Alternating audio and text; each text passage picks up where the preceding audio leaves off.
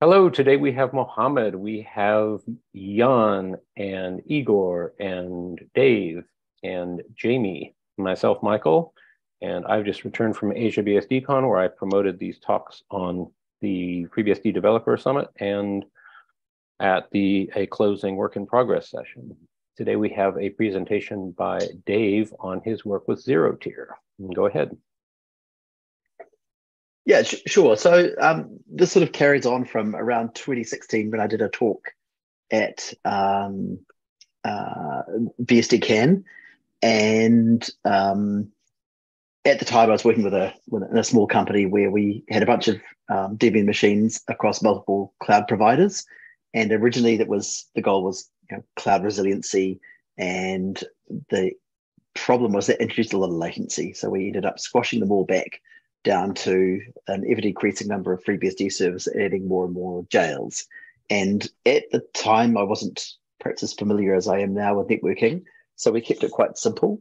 Um, the I suppose that the main thing that of interest here is, is, is the networking side of it. So I'm going to skip most of the boring sort of general jail details, but the, the guts of it is we originally had about 30, I think 30, 33, 34 VMs and each connection between every other VM was encrypted with um, over SSH, which wasn't ideal. It would, it would, flake out periodically, and then it would reconnect.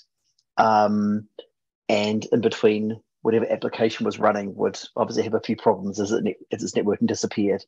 Uh, pragmatically, every connection to every other server sort of created this n plus one factorial mess of connections to manage and every time we wanted to make a change or um, add a machine or a service, the complexity just got worse. So that was the, the overall goal was to reduce that complexity right down.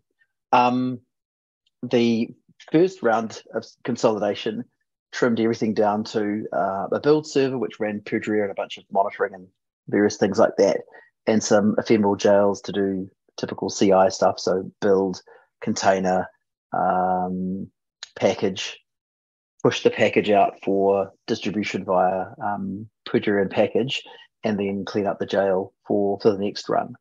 Um, the services themselves ran across a two node FreeBSD cluster um, with CARP and, and pfSync. And this was fine for people who were comfortable with FreeBSD and, and Linux as well, but didn't really work for people who were not sysadmins. The company was small enough that there wasn't really anyone who solely did that. And that was one of the things I wanted to address um, in sort of the next round. Uh, we've talked a bit about the n squared complexity explosion. Every time we add a service, um, every single other container needs to connect to every single other container, and that just gets worse and worse. Um, the next version of, of this uh, left the spiped um, connections everywhere and left the um, n plus one connectivity problems, um, but we put BGP in the front. And the really nice thing about that was we moved the cluster um, state from being in the kernel and we moved it up to user land. And the, the best example of this is to think about where the traffic comes from. Um, comes out outside from, from users, hits the cluster, and needs to be directed to um, an up jail, a jail that has the application running it, which could be on either of the nodes um, and a multiple jails. And um, when we had this being handled in the kernel, um, the kernel itself doesn't know that a given jail is up, and it has no way of knowing where it can send the traffic. And by moving this into um, BGP and user land, it became much simpler. The server is up, it's not accepting traffic. Um, it announces its presence over BGP when all the daemons that we need are up and running, and only then. Um, and in this particular case, HAProxy is already running. So um, once we start accepting traffic, external traffic over BGP, it can immediately hit HAProxy. And HAProxy is smart enough to know, okay, I have a local jail that's running and available, so I can send the traffic to that. Or, okay, for some reason that jail is down, or it's in maintenance, or it's being upgraded. So I will send the traffic to another node that is up and the container is running on it. And that separation has actually worked really well. And um, I've experimented with running a BGP announcer actually inside the application itself. So the application starts up, and once it's running, its final stage is to do its own little BGP announcing. Um, hey, I'll yeah, and I'll come back to your questions at the end because otherwise I'll just lose track of where I am. Yeah, but they're all good questions. We've got some questions at IRC. Um, the first round of BGP stuff was done at NetActuate, which was called RootBSD then, and now it's at um, Packet.net, which is called Equinix Deploy these days. Um, and they've got a really nice API and a programmable BGP layer. So it's very, very cool networking there. Um, the third version around 2018. So the latency that's experienced by users because of having so many um, disparate servers was eliminated once we went to this little um, three node FreeBSD cluster because it's all local hosted then. But it still has the system administration overhead of every container needs to talk to every other container. And that was really the next thing I wanted to address. At the time, when I did the first migration around 2016 and 2017, all of this sort of software defined networking was was pretty new, and we didn't really want to put all of our eggs in one basket, change operating systems, um, change our server, the way our servers were architected, and also introduce a new way of networking. Just too much change at once. So we ended up just leaving that networking for later, and um, there were probably three main choices at the time when we did this. Uh, there was doing something with IPsec, which would be very nice and secure. It would be very fast, but from what I would I could see, it didn't really change the complexity of having to make configuration changes on all the systems every time we added an application. Uh, the other choice was ZeroTier, which was uh, sorry, not ZeroTier, was um, WireGuard, which was very new and I don't think was available in any form on in FreeBSD at that time in 20, 2018. Uh, but it certainly was pretty new. Um, ZeroTier was in ports, and I picked up maintainership of it and um, brought it up to date. And um, started moving it in slowly. Uh, so not everywhere all at once, but little by little by little. Uh, the first piece I put it in was actually for logging. So the containers, the jails actually do all of their logging over syslog. Um, but syslog, we actually use syslog-ng, and for that we can do buffering locally if the network is down. So we end up in this nice little situation where I, I'm not reliant on having the, the networking working 100% of the time. If there's a problem with it, um, the local syslog-ng daemon will buffer traffic and when the connection is back up or working properly again, then uh, it'll just shunt it all through and catch and keep and and um, and keep and bring itself up to date. Um, having said that, I don't think we really had any problems ever with the logging side of it, and it made maintenance really really simple. So we started moving it further and further inside the stack. Uh, the next layer was a new, at the time, a new app and a language called Elixir, which is a uh, a Clojure-esque, Ruby-esque flavor of um, Erlang, uh, which is a language I was I'm still very very familiar with, and it has very nice IPv6 support. So what we did is um, we put the um, application itself on what ZeroTier calls the six plane. Um, and I'll come back to this. Um, I'll come back to this in a minute. Uh, but basically, every um, you can think of it. This is is um, the IPv6 equivalent of um, an RFC 1918 um, private address space, with the proviso that every IP address is generated through an algorithm that um, that you can work out in advance. So if you know the um, the server credentials and the um, uh, how do I describe that? There's, there's an algorithm for it. It's probably I, I, won't I won't try and run through it off the top of my head, but if, if it's um it's deterministic, so if we know the network node we're connecting from, and we know the um, uh, encryption key, the public encryption key used, we can then work out what the IP address um, for each for each system is. Um, with ZeroTier, it's a tap, uh, tap interface, and I am sure there are some limitations on that, but in our testing, um, it's pretty easy to get over over seventy percent um, of of the raw wire speed as measured by like IPERF3 without really any tweaking, and that's and that's sufficient. Um, if the path isn't symmetric, um, it's not nearly as good, and there are some catches. Um, if you're pushing a lot of traffic through through ZeroTier, then your non-ZeroTier traffic um, can be impacted, or is it the other way around? Um, yeah, if you're pushing a lot of normal traffic through, then your ZeroTier traffic can be slowed down. Um, yeah. So, what would we like to cover this? We're actually here to talk about jails. So, let's have a look at that. Um, the architecture that we that we ended up, which is which is proved pretty good, is on each server, um, you want to talk to um, some service, and we don't want that that jail to have to know where that service is. So what we have is um, Proxy runs on every single um, server, and it provides in, in the carrier grade NAT range, this 100.64.0.0 range, um, it provides a sort of a well-known address. So if you're talking, uh, I don't know, let's say SMTP, which which we don't use, but if we did, um, it would be on port. Uh, I've got a brain fart. What port is SMTP on these days? SMTP uh, still 25. It is 25. It's completely gone. Okay, cool. So 25. You'd have, you'd have HAProxy Unless listening on port submission, 25. that's 587. Yeah, so let's just go with authenticated 25 connection. for the moment, but it's listening on that.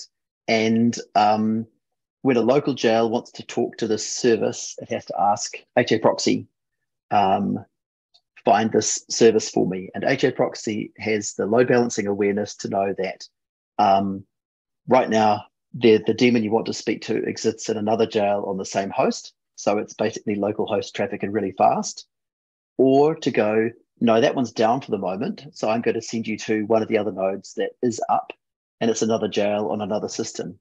And we actually route that over ZeroTier, which makes it super easy uh, because ZeroTier knows how to get from node to node.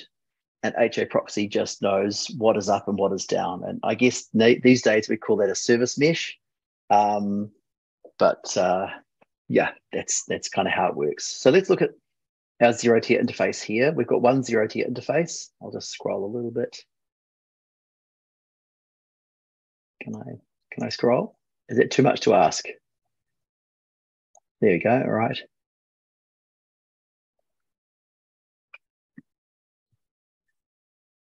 I can't get exactly what I want. I'm going to switch to Markdown view for this. I think it'll be quicker. All right.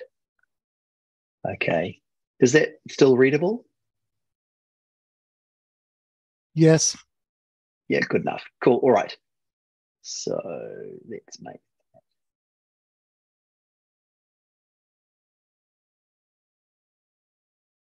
Okay, how's that then? Yep, that's pretty cool. That's good. That's the best of both worlds. Okay, so here's our ZeroTier interface. As um, it's so from our kernel perspective, this is a single tum tap um, interface here, and um, we can see it's got a nice big fat MTU of 2800. That's the default in ZeroTier, and I've tried using smaller and larger numbers, and I don't know how they chose it, but it actually works pretty well. So we leave it as the default. Um, we have here one ZeroTier. This is the primary IPv6 that assigned. You can see there's no IPv4s assigned at all to this host. So the only way a jail can talk to another system is going over ZeroTier. So it's a very nice little security boundary. Um, this one here is assigned to the host, and every single one of the subsequent addresses are all assigned to an individual jail. So here we have, uh, I don't know what, I don't know what number two is, uh, but number three is CouchDB. And if we were to go and check for that, there'd only be two things listening. Actually, let's go and have a look at one right now because we can do that. Uh,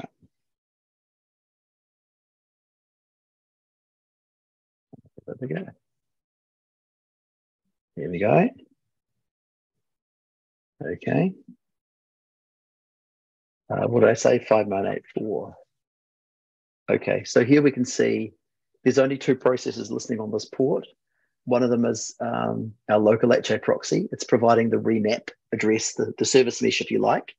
And in the background on this node as well, because it's a database, EFO2 is a database host, there's also the actual daemon itself listening. The CouchDB daemon is running on this ZeroTier address. So any jail that wants to talk to CouchDB has to talk via HAProxy. And um, the CouchDB itself can talk over this ZeroTier address to one of its other uh, friends. So let's go and do that. Ping, uh, ping six. What did I say? Oh nine dot. There we go. And if we do a curl, because CouchDB is an HTTP compliant database, um, the port number and uh,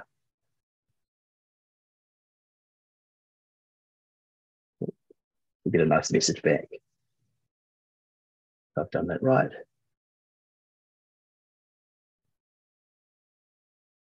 Oh, have I done something wrong?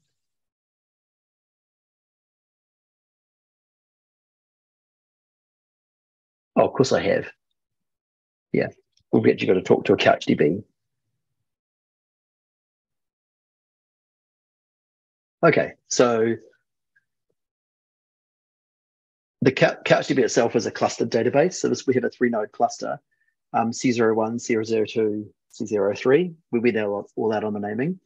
And when I need to do database maintenance or some sort of extended downtime, I actually can scoop up all of jails because they're just ZFS data sets, move it to another box, um, restart ZeroTier on that node, on the new node, and um, the IP address, the ZeroTier IP address we're using for things to connect to, doesn't need to change. And this has just been um, so amazing for maintenance, um, server migrations and stuff. It's absolutely fantastic. The combination of um, ZFS for for making all of our jails really just packageable, and ZeroTier for the the uh, the network virtualization makes doing maintenance really really simple. Um, so we need to bear in mind that every application doesn't talk directly over IP addresses. It uses a, DNS name, and those always resolve to a ZeroTier address. And that's how um, our little Erlang cluster database works. Each of the three nodes in this cluster talk to each other over IPv6, and they don't care what server they're on. They just care that, and on this IP address at this port, um, this node in the database exists. And I guess this is now let me think now, uh, seven, seven years old, six or seven years old now, and it's moved hosting providers repeatedly, um, but the DNS name has never changed, and the ZeroTier IP address has never changed, but the server itself has. Uh, we pick up the server, um, we copy the um, uh,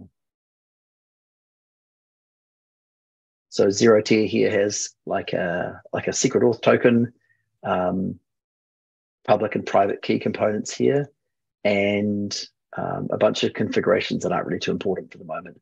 But so long as we move these two secrets, um, the public and private um, private key, uh, to another node when it restarts, um, it magically starts announcing its presence um, from a, a, physical different server, which is a completely different IPv4 range to to the previous one, and ZeroTier just makes all that seamless. Um, yeah, so onwards for jails. So the guts it here, every jail gets its own IPv6 address in this um, private um, IPv6 space called the six plane. And every ZeroTier node knows immediately um, that this component here, I think it's up to around about that. The first sort of third is the network name. um, the next um, sort of part is, a host section, and then there's a few bytes at the end. Um, I guess it's uh, I think it's a, a, 40 or an 80, I can't remember, is actually on that specifically per, on that node. Slash 80 node. 88. I think it's an 80, yeah. Um, so normally with IPv6, if you want to know what node you're going to find an address on, use a thing called um, I think NB, NPD, NDP. Um, Neighbor Discovery Protocol, NDP. NDP, great, thank you. Yeah, so in NDP, and you do like the equivalent of a little broadcast to find out what's uh, what's nearby, or if you need to go through a router. And ZeroTier cheats handles handles this traffic internally itself, and says if you're trying to get to something that's within the same slash 80, by definition, it must be on this node already. So let's just look locally and see what we have. Um, if it's out there outside that slash 80, um, it can use the, the remaining prefix to work out um, where to route that. And the result is for local traffic, it's pretty quick, uh, which is great. Um, next up, so we actually have a real one, so we can just look here. Uh, I did a nice bit of libxo parsing there to get this, didn't I, at the time? I suppose that was maybe too clever. Um, so on this particular host that I looked at, we have one, two, three, four, five, six, like I said, six applications. Um, and you can see there's ZeroTier addresses on the right and then normal loopback um, addresses on the on the left here. So if this um, www is a pretty standard server, so the traffic is coming in from the outside and hits HAProxy, and HAProxy will um, route the traffic to whichever one of these um, one of these is up. Let's see if I can get um, some of the Ansible code to look at. Uh, uh,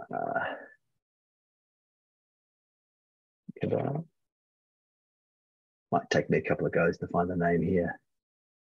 So if you don't care about leaking this information, you, uh, because you have a slash 48 uh, suffix for each host, you could just um, embed the jail ID and yeah, I could do. Yes, you're right. So um, that's actually something you would get another layer of embedding, and then you yeah. wouldn't even have to track this mapping because you have a one-to-one correspondence and yeah, so that's actually a great point because that's exactly what I did in my my own jail manager, which I never replaced it in production because this the production stuff works. So why would you change it? Um, yeah, here we go. Here's my Ansible piece. Let's switch back to the view. I did I did I did the Ansible stuff in here. So I don't know how familiar people are with HAProxy, um, but hopefully it's not too bad. Um, yeah, okay. So what we have what we have here. Let's see if we can fiddle with the screen size. Oh, that's better isn't it? So i guess people can't see that as well but hopefully that's good enough. Um, with an HAProxy we have a front end which is your listening um, sort of service. And then we bind here just like you would in nginx um, add a couple of relevant headers. And then we send that traffic to a back end. And the back end is where we do the load balancing. Um, we've got a few requirements here about how does HAProxy decide if one of the servers is up? So that's its HTTP check. Um, it's expecting to get a status 200 back. And if it gets a 404, um, then it disables it. So you have a choice between saying, okay, if access is denied, um, does that count as the application is down, or is it just the application saying you don't have permission? And for CouchDB, um, in this case, a 404 means we got it terribly wrong. We should fix it. So uh, we disable that. Yep. We have a three node cluster and within Ansible, we actually order these. Um, I, I, didn't put it in here, but we order these by um, the physical node that they're running on. So you always get to speak to your local CouchDB if there is one. Um, so local, uh, if there's a local application jail and it wants to talk to the database, and there's a database instance on this host, then it goes directly there. If not, you get sent elsewhere. Um, and there's some sort of pretty standard Ansible variable lookups here that says the first instance of CouchDB for the server is on this IP address, which is an IPv6 address in our case, and it's on the standard CouchDB port. And I think there's, yep, and we do some checking as well. So if there's traffic flowing in HAProxy, then we assume it's up. So HAProxy has that that check. If you're already sending traffic, clearly the service is up. Um, and that means we're not continually sending health checks for busy nodes that are running anyway. Um, cool. Yep. So so far that's with Ansible. Inside the jail itself, the jails aren't aware about the service mesh, so they're not aware about the ZeroTier layout. Um, so you can see here this CouchDB daemon here. This is a CouchDB daemon here. It's got a bind address of IPv6, any IPv6. Now there's only one IPv6 address in this jail, and so the default address automatically is available over ZeroTier and only ZeroTier. And down the bottom, because CouchDB is a clustered database, we tell it a little bit about the other nodes here. And here you can see that this node is um, the CouchDB jail, and it's located on the C01 server, in our case, the C01 IP address. Um, and there's the second node in the cluster there. And so we're down here, we've got the third node. Yeah. Um, there's a little bit of PF magic so that um, if you're not, um, you can't connect to um, the internal cluster port unless you're coming from the cluster jail. That's not very exciting, pretty standard PF stuff. And um, when we look um, on, on, this node here, uh, what have we got? Oh, we already looked at earlier. Yeah, we've got our uh, CouchDB node here and um, uh, which one is this here? 437. This is Erlang's internal clustering um, services. We've got a couple of daemons here that help Erlang locate the other node. Um, right, yeah, so sort of taking it like back up to the top, the three main changes here was BGP makes it really easy to separate the um, availability of, a, of the applications running on a system from the node being up. So when we're using PF and, and, and PF sync, the main problem was as soon as the server comes up, PF starts very early because it's a networking daemon, and all of a sudden your system's accepting traffic, but you haven't started HAProxy, you haven't started any jails, and you're not ready to do the traffic. Um, also, because it's a userland daemon, it makes it really, really simple to do upgrades. We can just um, disable BGP, restart the node, and when it comes up, you can do all your FreeBSD updates, everything like that, um, without accepting any traffic from the outside. Then you can bring up ZeroTier, then you can bring up the jails, and you can wait for the cluster to catch up with any backlog traffic. And when the cluster is up, then finally you can go back and turn BGP on and um, and let traffic uh, let traffic flow. Um, yeah, so this kind of segues neatly into where we're at with jails for me. Um, a lot of the stuff is pretty dynamic now, but the jail info is static and it's done at install time. So I can't do anything nice and clever that, uh, for example, it says there should be at least three application servers and there should be at least one in each continent.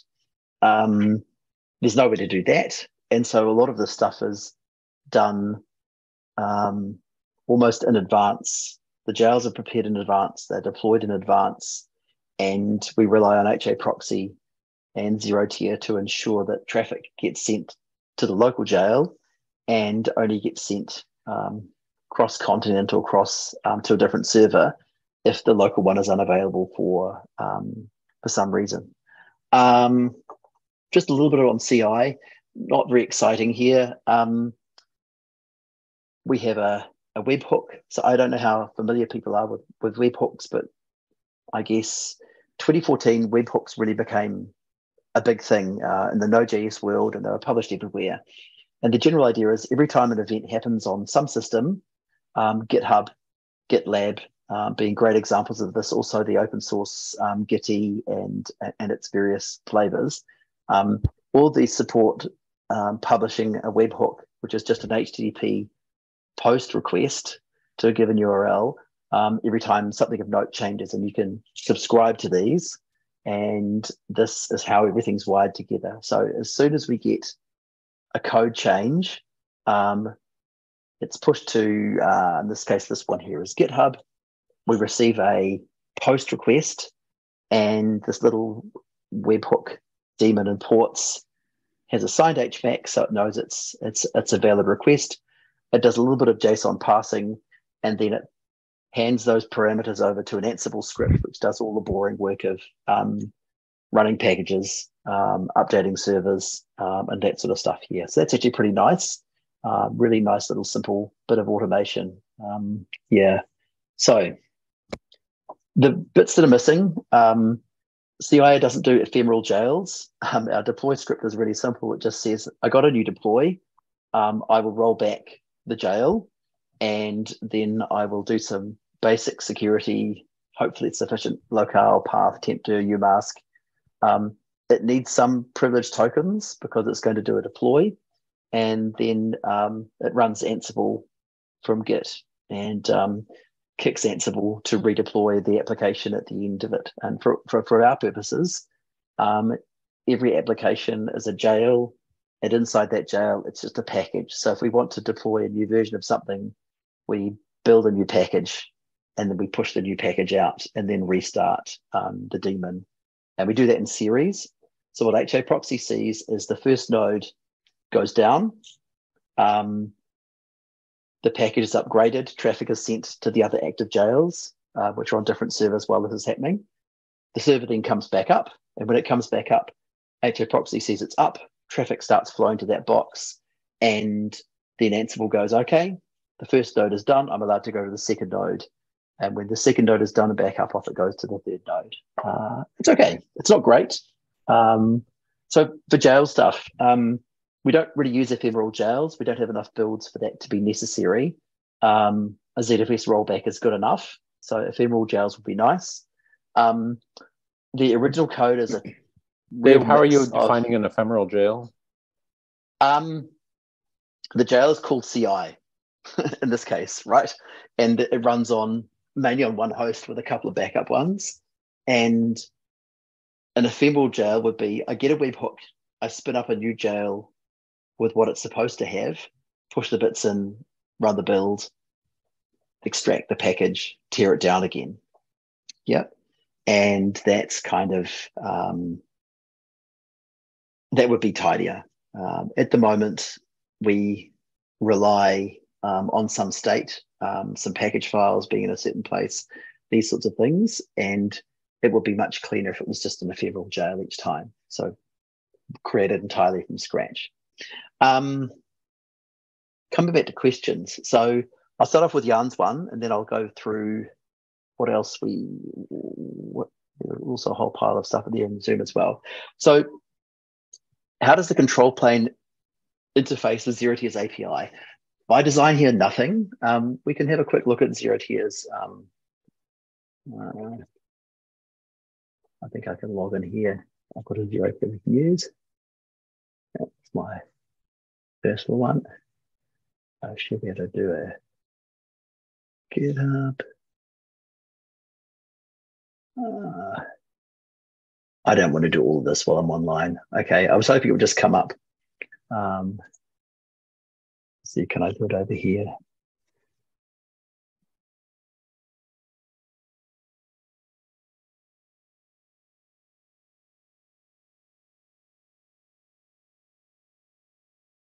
I'll do this in another window so I don't um,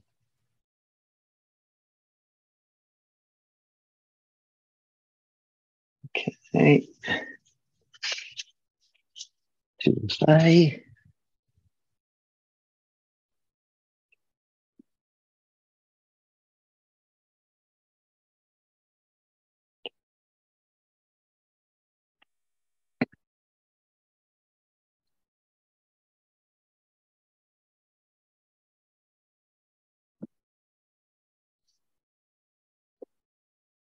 All right, this here. Um, yeah, so this isn't the work one. This is the the private one. This is what ZeroTier sort of interface looks like. You can have a single. You can create through the API multiple networks. There's no real cost uh, for that, um, but it makes um, managing traffic a little bit more tricky.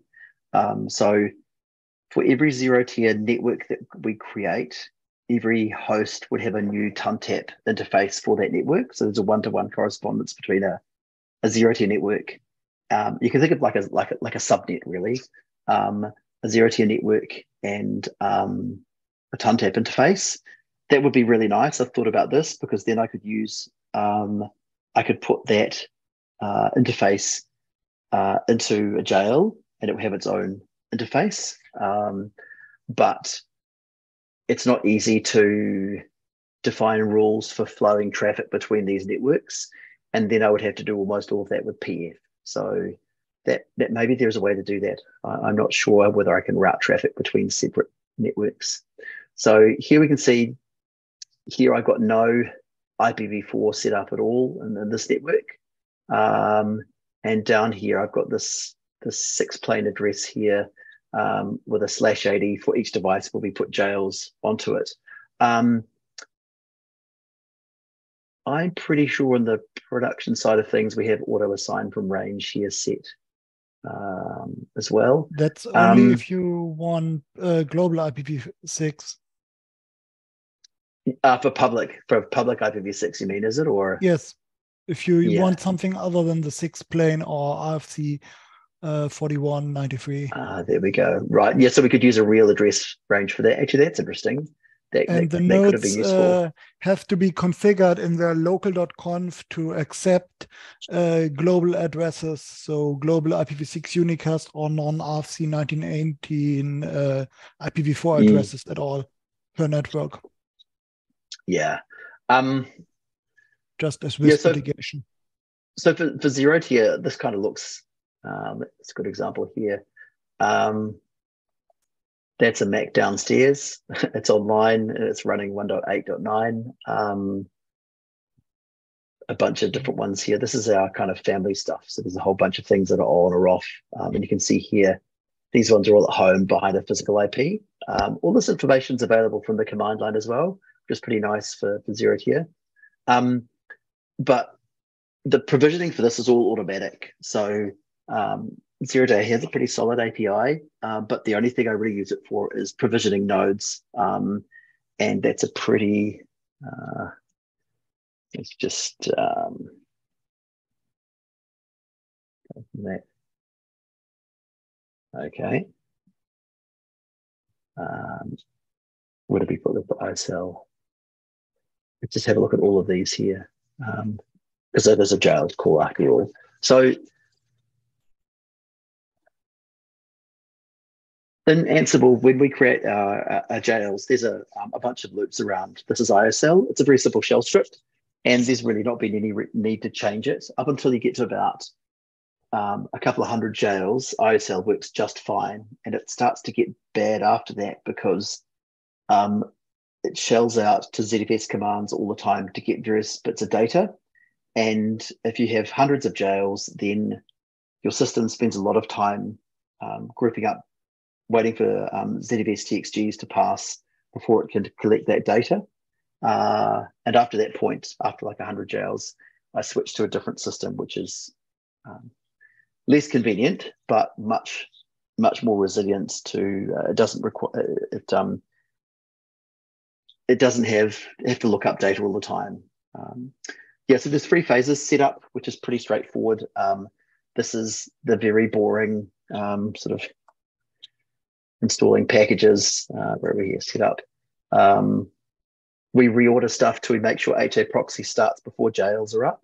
And this ensures that um, we can accept traffic coming in from the internet and route that around this node, even if the jails haven't started. Um, and we install releases and tarballs, pretty straightforward, and some custom FAT collectors, which we don't really care about. Um, the templating is where the interesting stuff happens. Oops um, the main template. Yeah. Template here. Um, most of this will be pretty familiar to you. We have um, a, an entry template, which is just a, a, a tarball, um, and we write various config files into it and um, a bunch of packaging, pretty straightforward. And um, yeah, here's our DNS resolver going in. Uh, we make a, a few soft links because um, when we do this with package, um, it uh, it doesn't install them, or at least it didn't when we did this. I don't know, 2017, 2018. Um, we turn off a bunch of daemons that don't make sense in jails, cron, NTP, SSH, um, syslogd.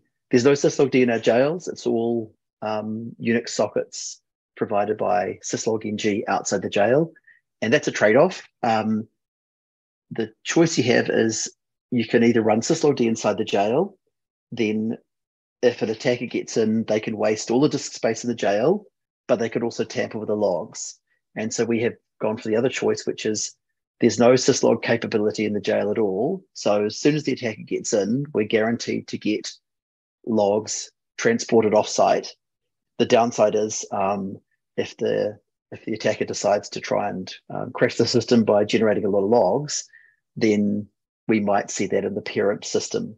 Um, but I think it's a good trade off. Um, it's a reasonable choice. So yeah, disable sendmail. Everyone does that and a little bit of information to help us organize the plumbing.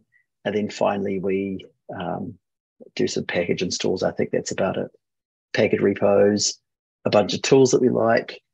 So all this is in a template. And that means every time we create a jail, um, it's got all these bits in it. I don't think there's anything else of note. Yeah. So let's look at our last one. Um. Back to here, deploy deploy. And this is the bit I really don't like. This is the bit I'd love to get rid of. Um, it's very fragile. When I say it's very fragile, what I mean is every couple of years I need to go through and figure out why Ansible um, has failed to um, deal with this sort of stuff like this correctly. Ansible loves to change things, and every couple of years that breaks. It's not really a jails problem um, or a ZeroTier problem. Um, and you can sort of see here, this is our, you'll recognize it in general. It looks something like a jail.conf file. Um, um, there's a release, a host name, um, the IP address goes in here, but this is not really very friendly, is it? Uh, if you if you go through it slowly, it all makes sense. We've got a private name for the interface. If it's not present, we use loopback one. We have some sort of um, jail related IPv4 address. And if we don't have one, we assign a default. Um, we have the same thing for IPv6. And we have this lovely little bit of Ansible here um, that does the right thing um, and ensures that if we have an IPv6, is when it's signed.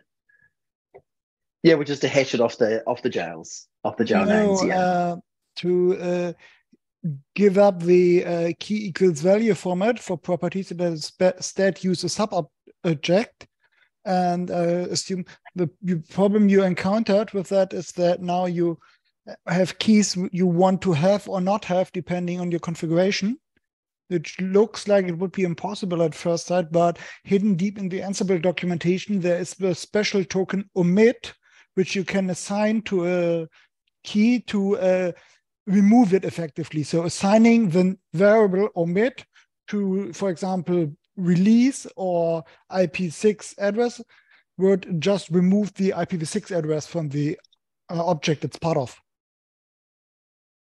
Right. So, we, we need to have multiple lines here set though. So no problem. Yeah. Anyway, I, I, I don't like this piece and I would love it to be different. It's one of the things that's tricky, but at least from a jails perspective, it look, should should look pretty straightforward, um, if if messy. Um, and here we have the little bit that that mounts the jail data sets inside um, the the, the uh, how do I describe this? The ephemeral jail. This is actually been brilliant. Um, when we do upgrades, um, can we go back to uh, It's a lovely using, isn't it? Um, yeah, let's just make that a bigger. So we've got a bunch of jails here and um, jail.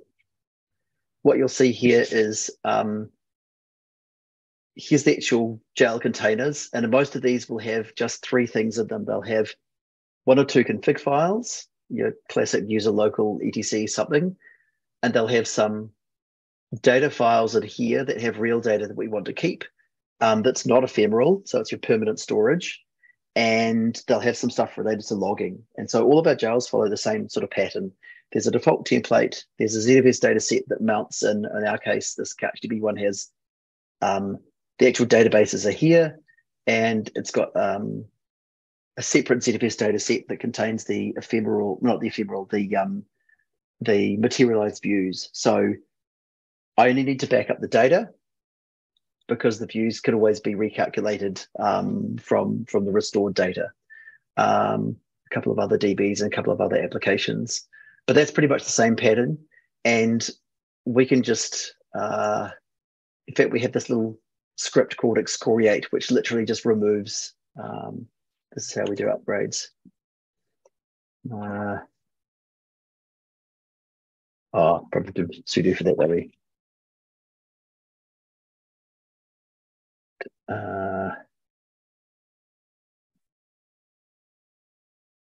um, that, that's how we do upgrades. Um, it's part of a wider Ansible script that does the looping over servers, but we turn off BGP, so there's now no traffic to that server. That means all the other servers take traffic, and then we do a snapshot, um, make a boot environment, shut down all the jails, and we destroy all of the jails um, and clean up.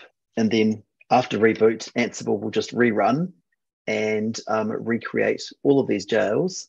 And the permanent data lives in this jailed data sets and um, is magically mounted in. And that's made upgrades absolutely, absolutely cake. I couldn't imagine doing this any other way. Uh, it's really, really awesome. Um, yeah, so back to back to our questions. What do we have here? Uh, IRC. Um, where do you run ZeroTier? So ZeroTier runs on inside each host at the moment. Um, if I ran it, yeah, so I had two choices here. I could run a ZeroTier inside every uh, jail, but that to me seems like a lot more work. Um, and um, the other choice I had was to create a separate um, ZeroTier interface or, or, network for every single jail or application. So our CouchDB cluster might be one network, but then I now need to invent routing again to send traffic between each of the nodes. Um, how much control traffic overhead do I see? Not much. Um, people who use ZeroTier over mobile um, notice. Um, I will just have a look here. Um, try laptop. Um, yeah, so you can see here, um, uh, it's moving around a baby bit, bit too much to see over Zoom, but um, the ZeroTier traffic itself, this this Google user one here is actually um, I just moved again to note here's some ZeroTier stuff. It's like 1k a second maybe. Um, so in our from my perspective, it's irrelevant. It really, it's um, under 1k a second of traffic being sent um, to maintain the ZeroTier mesh. Um, when we first set up this network, um, it's kind of an interesting story. Um, it was in DigitalOcean, or some of it was in DigitalOcean. And DigitalOcean at the time was really flaky. We were losing connectivity on a regular basis. Um, and um, our at that time our SSH connections, we weren't using ZeroTier, our SSH connections would fail, timeout, reestablish themselves. And when we put ZeroTier in for this, there are two things. First of all, ZeroTier is topology aware. So um, it knows um, it knows there's an IPv4 connectivity between nodes. It knows there's IPv6 connectivity between nodes. And it is also aware that there's a 10 slash subnet in some of our infrastructure that is private and local and much faster. And so ZeroTier knows all about that. So what we found was when we put ZeroTier in while DigitalOcean was doing this, this migration work that they were doing, um, we stopped having outages because um, ZeroTier would automatically resend the traffic um, over IPv6 if IPv4 wasn't working. And um, if the traffic was local within the same sort of DigitalOcean data center, for want of a better word, um, it could send it that way. Um, I've since been told that DigitalOcean spent uh, maybe a two, a couple of years consolidating all of their BGP um, um, autonomous systems, and that was why there were so many outages. Was because as they cleaned up another part of their network space, they would remove an AS and let the traffic flow through another one, and that's why we had lots of outages. But ZeroTier really made that that problem go away, um, which is great. Um, what have we got here? Do you use zero DNS? No, it did not exist at the time. It would have been better. Um, so yeah, zero DNS is another project that's not part of ZeroTier itself. Um, and it just ensures that systems that are um, named in the ZeroTier control panel, um, let's have a look here, like uh, here's my iPhone called DCH, yeah, and um, a Linux uh, Linux computer downstairs. Um, that node would then appear in DNS and be up to date. Um, my stuff isn't very dynamic, so we have this in normal DNS, and it never changes because um, when we move a server from one location to another, or from one provider to another, um, we keep the ZeroTier private and public key for that node, and so DNS doesn't need to change either and our application doesn't need to change. Um, what else? Do you run your own moons? So ZeroTier has this concept of um, uh, root servers, which is kind of you can think of them a bit like the top level of DNS. Um, they need to be on all the time. Unlike DNS, they don't get a lot of traffic and they don't do a lot of work. And their job is to say, oh, for this network, here are publicly addressable entry points for it. Um, some people don't like that and they want to run their own versions of this. Um, we don't because that information is not really very um, private for us. Um, and most of the servers are already publicly accessible because people use them. They're the, the things that customers need to connect to. So it's not like we are leaking information that wasn't publicly available anyway. Um, but you can run your own moons. I have had a great deal of difficulty running that on FreeBSD, um, originally because the hardware I was using, Intel Atoms, um, were not new enough. Um, and I personally have never run it successfully. Um, maybe I should try that again sometime. Um, but the main advantage is that you run your own moon and you can think of it like as this sort of stable point in the network that your ZeroTier nodes um, would orbit to look up to look up for traffic. Right. Um, what other questions have we got here? Uh,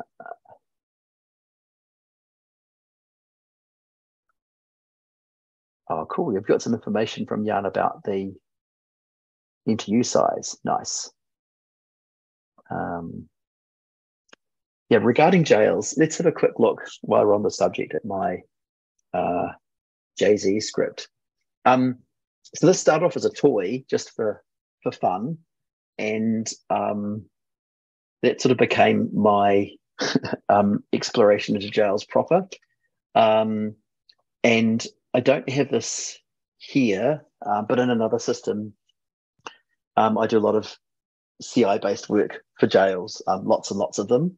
And this is kind of how we do it now. So the standard jail stuff is make some jails, um,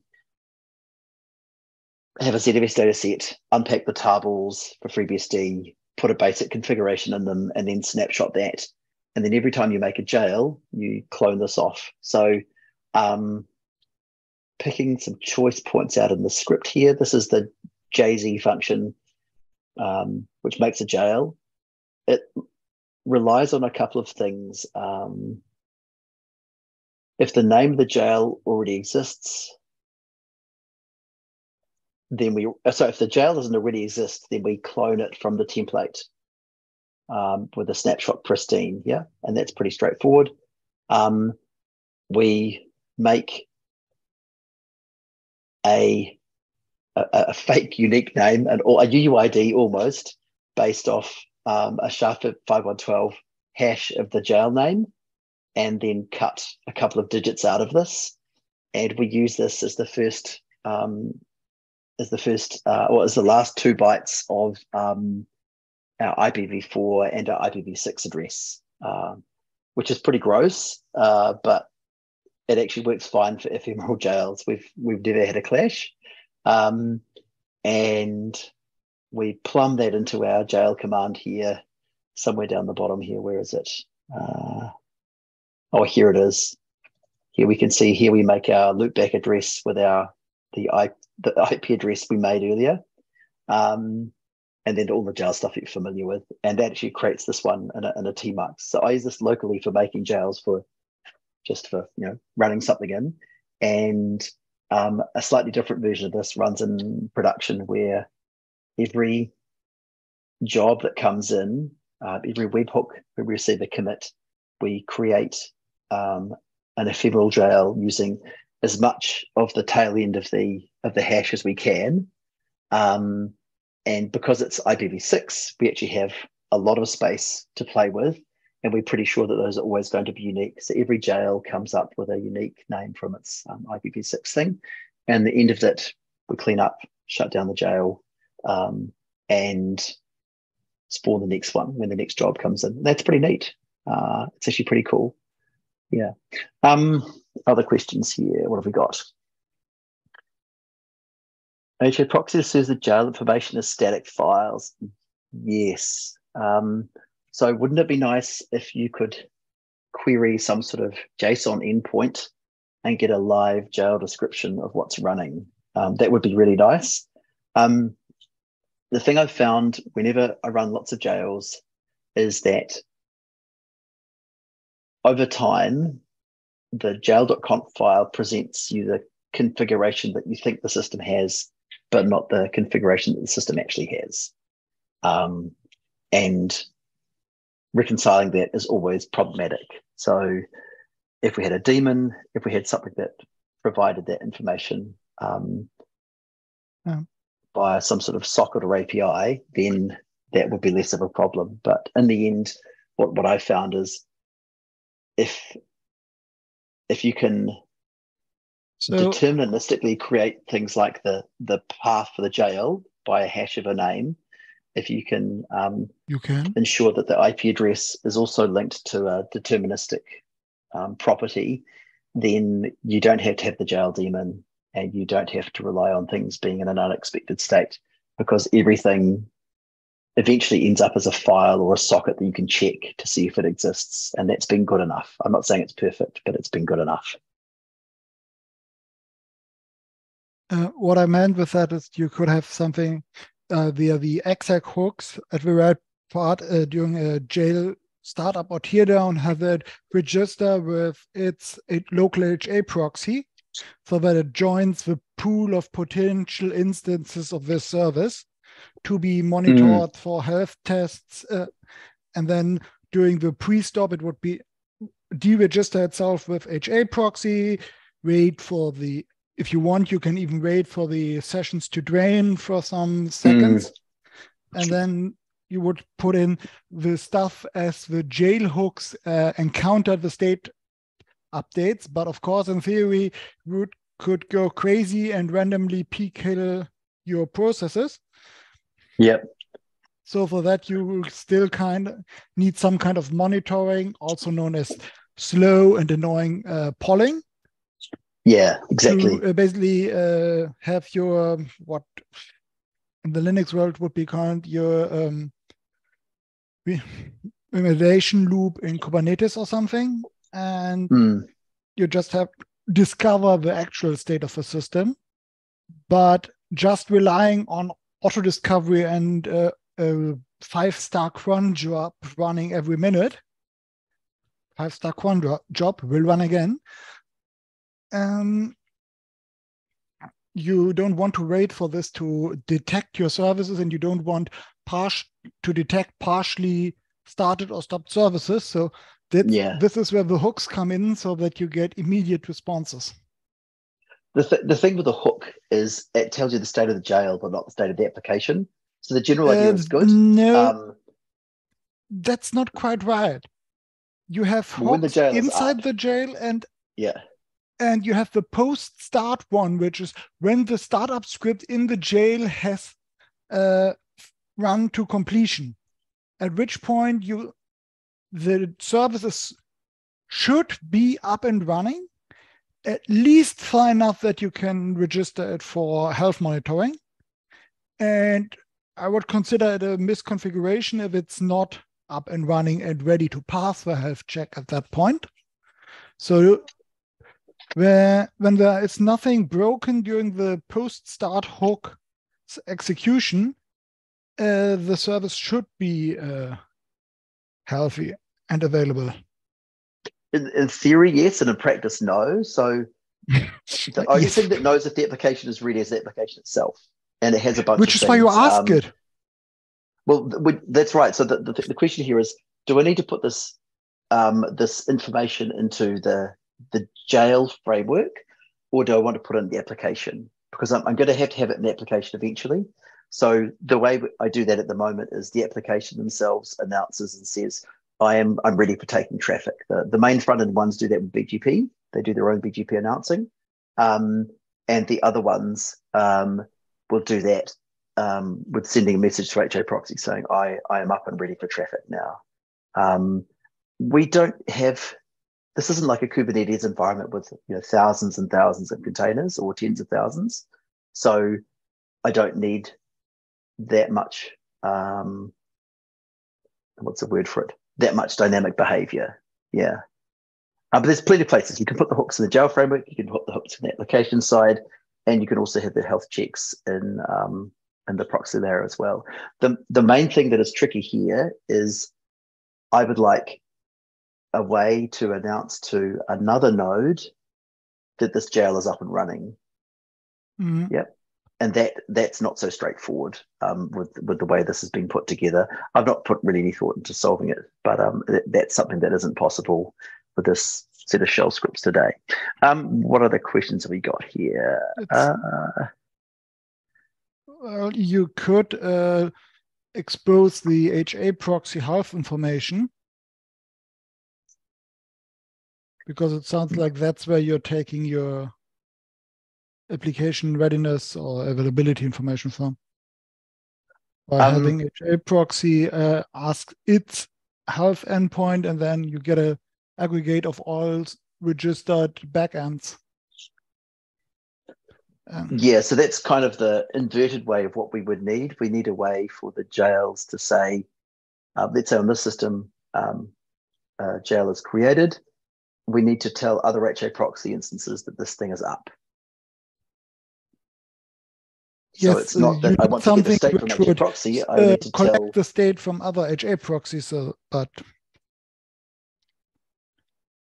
Yeah, it's the it's the other way around. I need to tell HA proxy on a different server, hey, this this thing is up.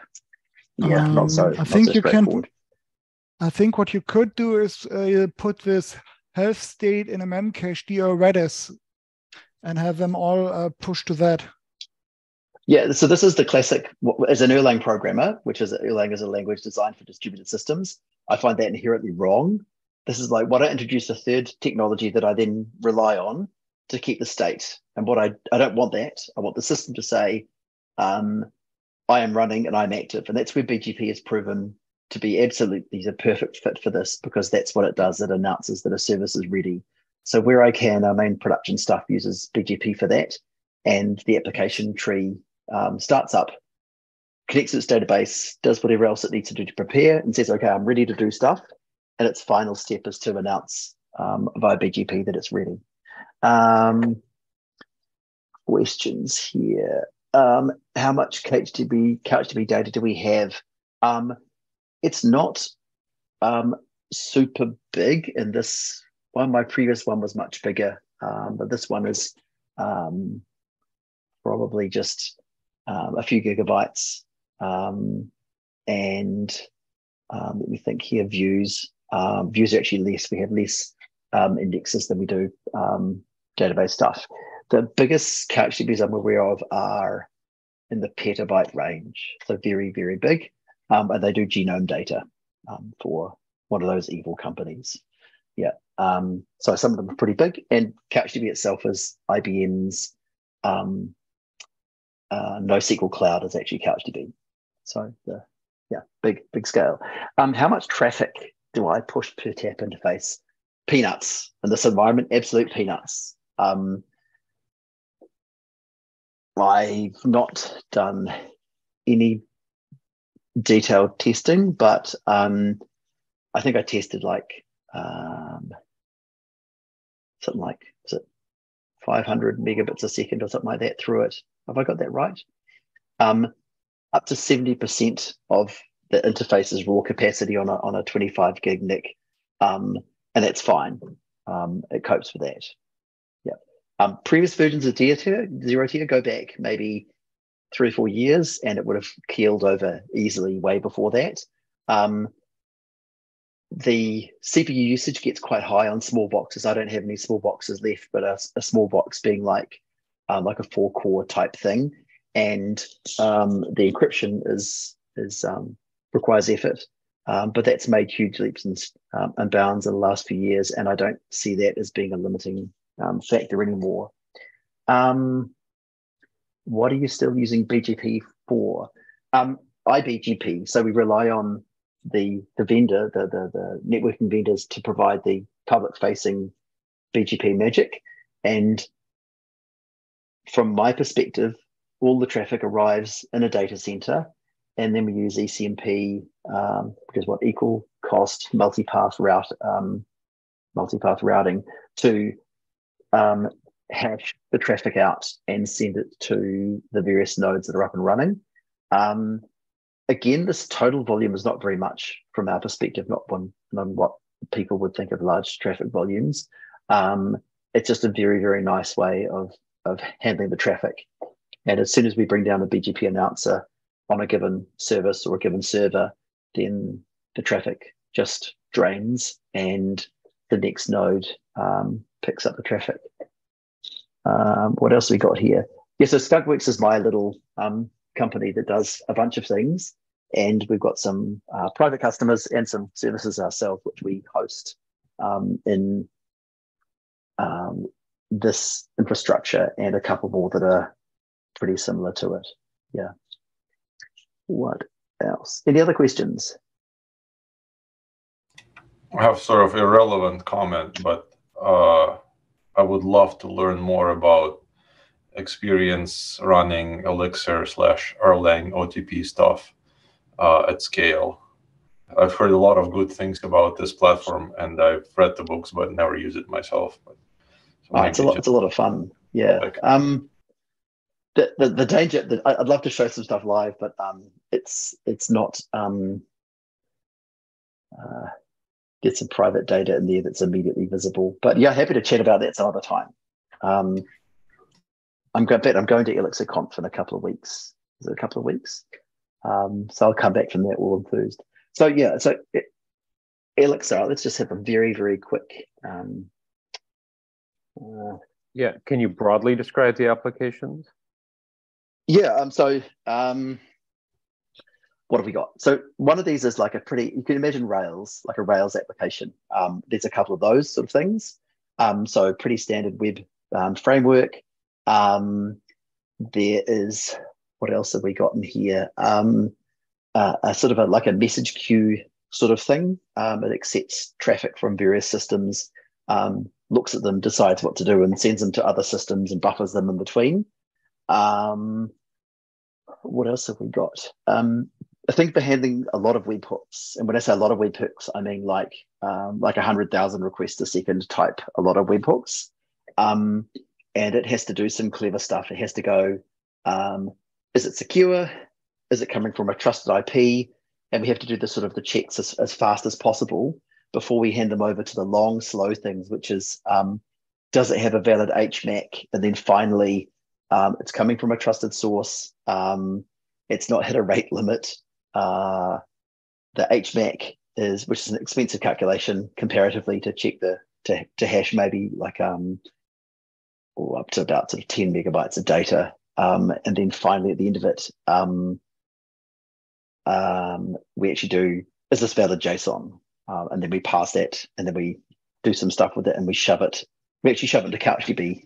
Um, and as soon as it's in CouchDB on a single node, we reply back to the user that we've got it. So CouchDB is um, eventually consistent, and we've designed the application in such a way that if a single node accepts the write, we know there are no conflicts um, because of the way the um, the the uh, a little bit of deterministic um, calculations of the of the of the um, primary ID, and then we can um, wait for the other nodes to catch up. So we return a 200 back to the user saying, "Got your stuff," and then the background we shuffle it around to other nodes, replicate it, and eventually do other things with it. Uh, what else is in there? Oh yeah, there's a DNS server. I almost forgot. Um, we have a um, a custom DNS server written in Erlang um, for some projects which are not finished, but hopefully this year, probably definitely this year, but hopefully in, in three months we'll be ready for that. And I can talk more about it later. Um, but that just does DNS stuff. Um, Erlang is a a good language for doing DNS stuff in, but it's not a great language. It's not memory efficient and it's not C fast, but um, it's a very, very nice language for doing distributed systems in. Um, what are three unusual things about it? So when I talk about Erlang and Elixir, these are really the same virtual machine. It's like Java and Clojure. It's the same virtual machine. Um, it's a functional programming language, so there's no shared state um, which is not quite true. Uh, but there's no shared state available if you there are no pointers. If you want to send a message to another process, if you want to communicate with to another process, you have to send a message. Um, there's no shared state that you can that you can access. Um, so there's no memory corruption bugs. Other than the back end, the VM is all written in C. So of course there's still the possibility of, of, of bad C getting you, but the programming language itself, the runtime, um, is, is a, very much a JVM bytecode. The really unusual thing is addressing a local process is the same as addressing a remote process. So aside from the latency differences and the throughput differences, um, you can access code and data on another machine just as you can locally. Um, and uh, the virtual machine provides a bunch of uh, libraries which we call OTP, the OTP libraries that encapsulate um, trusted behaviors. So things like a supervisor process that makes sure subsidiary processes are up, that starts more of them if they're needed. That's part of this core framework. And that framework can be spread across multiple machines. So you can have a supervisor process on one node that makes sure other nodes are up and running and processing uh, transactions. And if you look at inside CouchDB itself, that's how CouchDB communicates across nodes. It says, um, I've got a request. I know I can't service all the requests locally because I only have the shards for this part of the database locally, but I know that other people do. So I'll send a message to them and um, those nodes then send back the native Erlang data format um, back to the this node that's handling the request, and it consolidates and sorts and then turns this data back into JSON and sends it out to the other node. And that um, RPC layer is actually really neat. These days in Go, people would use like gRPC for this. So um, in some ways, Go provides a lot of the same sort of um, primitives in the programming language, but it doesn't provide the same guarantees. And um, this is something that Go, in my opinion, will never be able to do because it's not designed in the semantics of the language. It's something you try to add on afterwards. Yeah. Anyway, it's not an Erlang day today, so but hopefully that's a bit of a flavor. Distributed systems, multiple nodes, um, and a bunch of frameworks that allow you to build reliable, robust, um, yeah, composition, compositioning. Any other questions?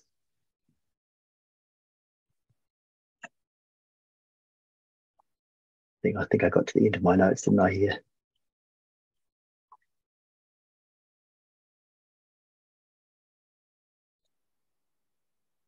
Yeah, that's my my final comment. Is how do I feel about this stuff I built? Too much YAML in the Ansible, too much duct tape um, there's all these little shell scripts covering over little ugly sharp corners, and the main thing I struggle with um, with this is it's it's not resilient. Um, every um, couple of years, something changes in Ansible um, and breaks, and then you're down in those um, curly brackets that you didn't touch for two years. Going, what was I thinking here? What is this supposed to do? Um, yeah, and I think all the other stuff we've already talked about in our in our calls previously. Yeah, but one one other thing I didn't make I didn't make clear here.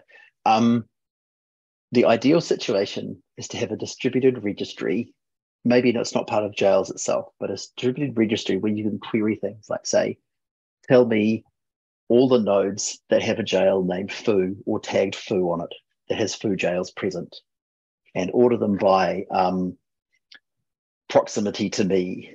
So um, which ones are closest so I don't traverse the world looking for looking for these systems.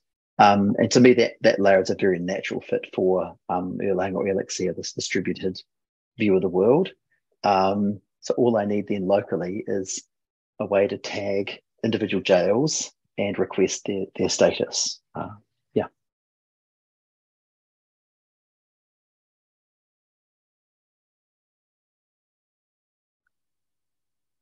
Uh, thanks a lot for exploring this design space so thoroughly and reporting back with years of real world experience. Yeah. Well, my plan is I'm going to use this. Um, so I've, I had some more thoughts after doing this. I'll, I'll definitely um, do a propose a, a EuroBSDCon talk on this, um, splitting some of these pieces out. But I think the main just... takeaway for me is Jails made this so easy. Really, with ZFS and Jails, it becomes so easy to manage stuff um, it, it, it's hard to explain to people who haven't had to deal with this with a, a, a group of Linux systems with people who are not developers, um, and trying to explain them how you roll back a Docker system um, or a, a, cluster of Docker servers. And here we go. Okay, this is really simple. You have a shell script of three lines that queries the jails, the systems that have these jails. You go ZFS rollback to the previous version, and then you restart the daemons and people going okay that's easy. I can i can i can grasp that. Um, and operationally it's been very very low touch. Well arguably in in kubernetes world it's also easy. You just uh, roll back the tag on your docker container and your kubernetes just spins up a bunch of previous it does now yes. Um, so i didn't actually mention that. When we started this project um, what, what i didn't cover is we were why did we go all free FreeBSD? Um, and the short answer was because people had, this was in 2016, people had said, oh, Kubernetes, let's do Kubernetes. And so they spent a year trying to do Kubernetes and Docker. And I don't know if you recall back then how new it was and how fast it was moving. Yep. Um, and we could never keep up. And so I wrote a blog post at the time, like my infrastructure should be boring, and, and it should be. I don't want I'm not getting paid to think about infrastructure. I'm getting paid to build an application and deliver um, a web service to, to, users. And we were spending all this time trying to Kubernetesify the stuff. And I think there were, I think, three people working on it at the time trying to do that and not keeping up. And this whole FreeBSD jails migration was um, less than six months. And um, the performance difference is huge. We went from, which is not a property of, I shouldn't be clear, that's not a property of Linux. It's a property of having going from um, you know 30 or 40 VMs down to just three physical servers. Um, the application was over 10 times faster for logins. Um, it's a massive, massive difference. Um, and it's nothing to do with Linux or FreeBSD. It's just um, there is a cost to latency.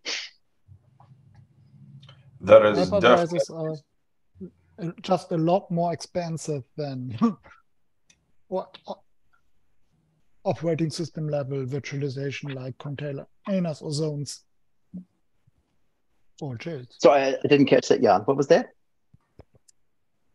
The virtual machines with a type 1 or type 2 hypervisor are a lot uh, heavier than jails or Linux containers or Solaris Jones, uh, zones. Yeah, totally. I think the main the main advantage here was local host. We moved from having VMs that were managed by DigitalOcean and um, I can't remember the other two providers down to localhost, and that was that was the key thing. Don't yeah. get me started on DigitalOcean and their uh, incompetent network operating team.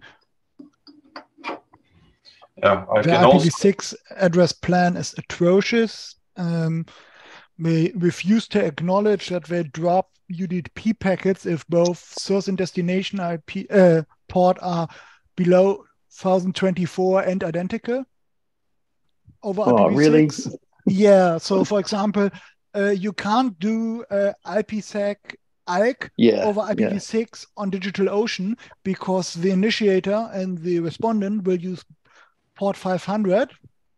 Mm.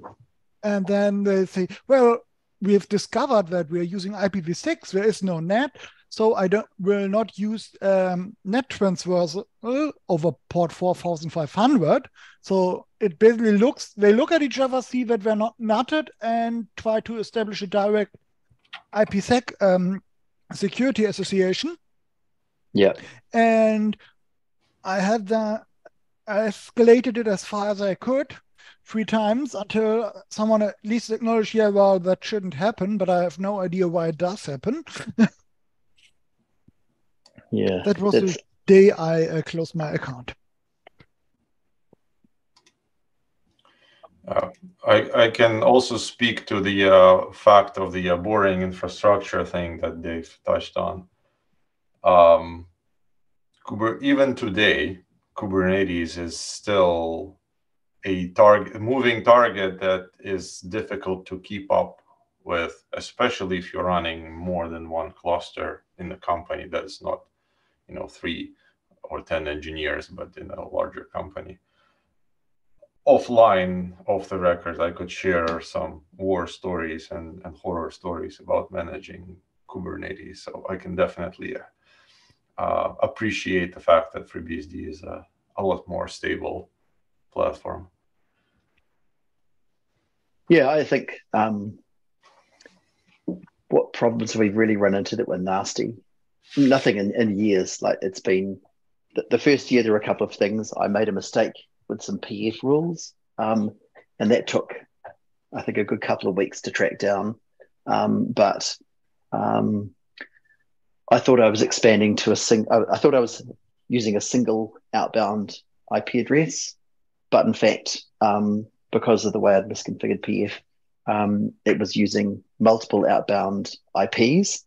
And so the requests um, going out with like uh, like HTTP requests, um, I forget now the exact problem, but one and one and only one in three curl type requests would actually function, and the other two would just get cut off because um, the firewall rules only permitted one outbound IP, but the PF um, rule set expanded to to three IPs, only one of which was allowed. That took a long time to figure out.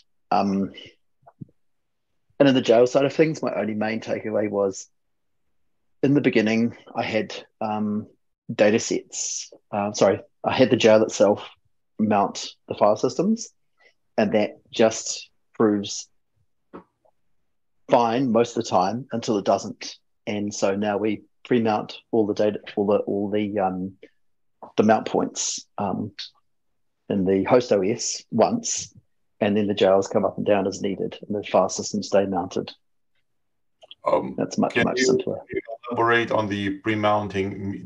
Do you, when you say you're pre-mounting, uh, do you mean that you're not using the jail.conf, uh, you know, ways of mounting things into the jail and, and doing it in some other way? Or do you mean when jail mount mounts something itself is that the process that is already in the jail issues mount commands like it's not no the jails don't do any mounting themselves inside the jail. There's nothing. Um maybe i don't even think tmpfs uh i can't probably can't show that. I can't show the more complicated one unfortunately. Um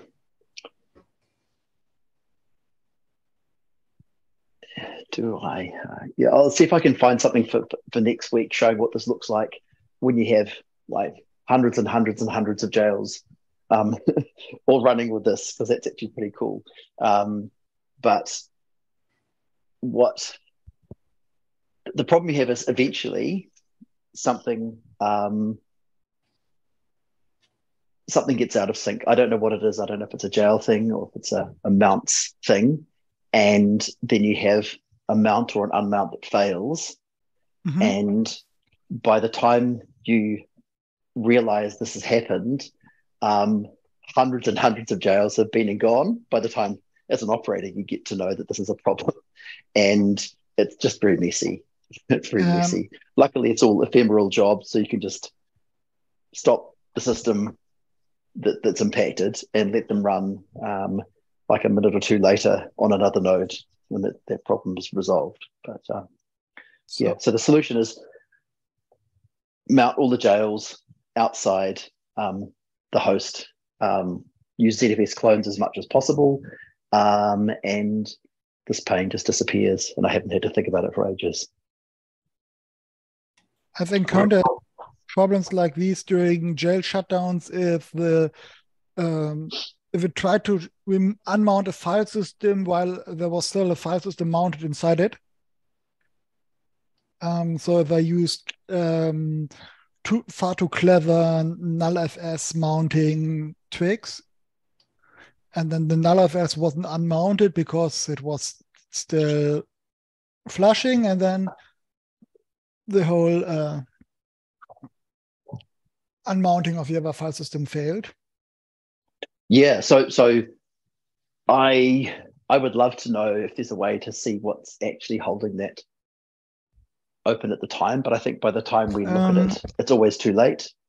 Yeah, but that's that's kind of what I'm expecting. There's some process that's flushing or hasn't finished dying yet, and the other stuff is is already ahead of it, trying to shut down and try to unmount file systems, and then one of them fails but, and all uh, over. What you can do in a in your startup hooks, uh, you can just uh, use mount uh, with the fstab from the jail if you're reusing the paths uh, to make basically tell that unmount all file systems mentioned in this fstab for uh, the jail's fstab. And then basically, uh, if you're reu reusing the jail mount point location path, then you make sure you clean up before you uh, mount it. It's a bit ugly. You shouldn't have to do it, uh, but it's defense in depth. The other option is to uh, use the jail ID as path, uh, part of your, uh, your jail path and in the mount points and so on. This has the advantage that um, you're never reusing any paths. So at worst, you would mm. leave Dale mounts uh, there and you could debug it at your leisure. I probably can. Let me just uh, show an example here. So I go.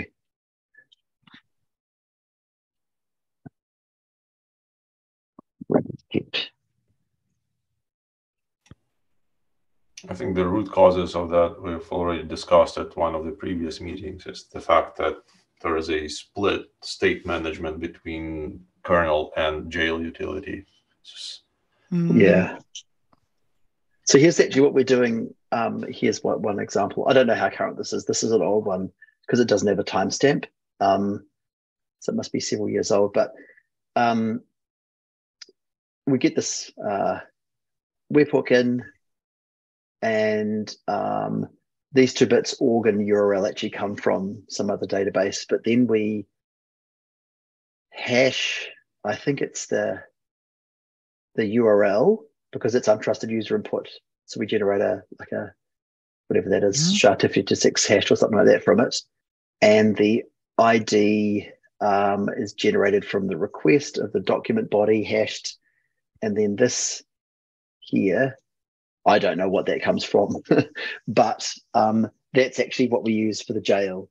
Um, um, we clone a ZFS data set with that, and then we make a jail from it and mount all the bits inside it. And we know that's unique to this request because um, because this deliciously long hash, and mm-hmm. that, um, that, that we avoid most of these problems uh, that way. Yeah.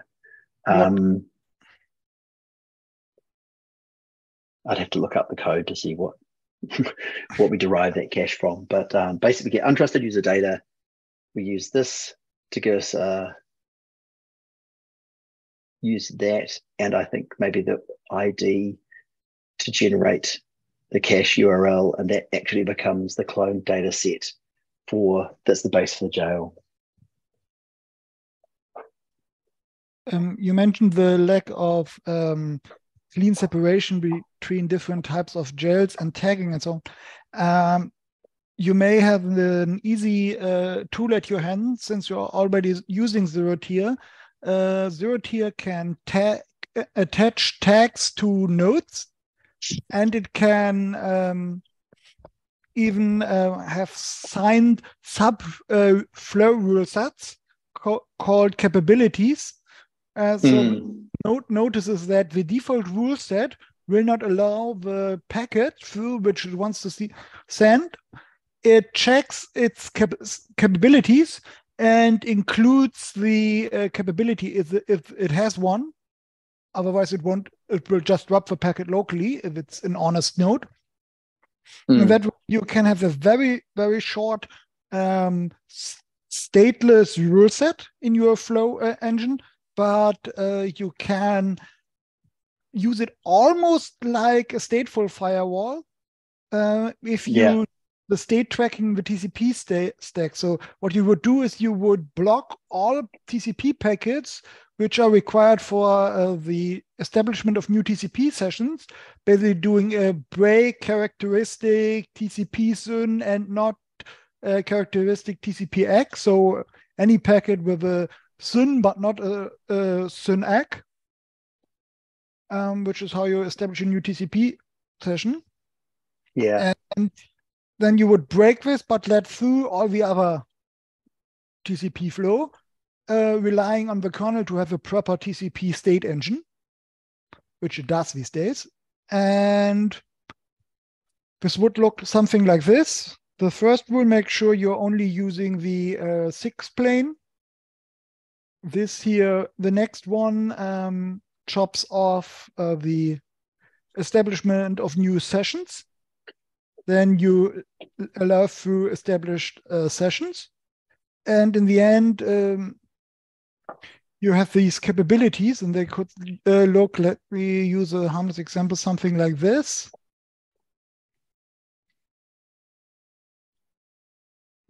And if you just fall off the end with a break, and which is the default instead of a deny, uh, the rule set allows the nodes to use capabilities which are signed by the controller to yeah. on demand extend the uh, rule set, which is feels almost like a stateful firewall. Yeah, so we didn't talk much about about this in, in, in ZeroTier land. So when I first started using ZeroTier, this didn't exist, um, but it's been there for a long time, and um, two or three years, I think, since it began. Yeah. Um, the only place I currently use use this is to um, ensure that only the three um, database cluster nodes can talk to each other over the, um, mm. uh, for want of a better word, the direct access. So um, the only way to get for, for, everyone else, for all other applications to get to CouchDB, they need to talk um, to HAProxy. Mm-hmm. Um, but ZeroTier itself actually provides the enforcement of the rules that these three nodes um, are only the nodes that can talk to each other. Um, the main catch for us here has been that I would need to have um, a separate network for every customer, ideally for this. Of course, um, but and uh, but it would be nice and secure. It'd be very good. But the key thing and it doesn't cost any the, extra, and it would actually probably improve your performance because you have a thread uh, per um, tap interface, so you can push uh, through the performance bottleneck of the tap interface uh, per tap interface. Yes, yes. Um, although, yeah, I don't, I don't really have any current need for masses of.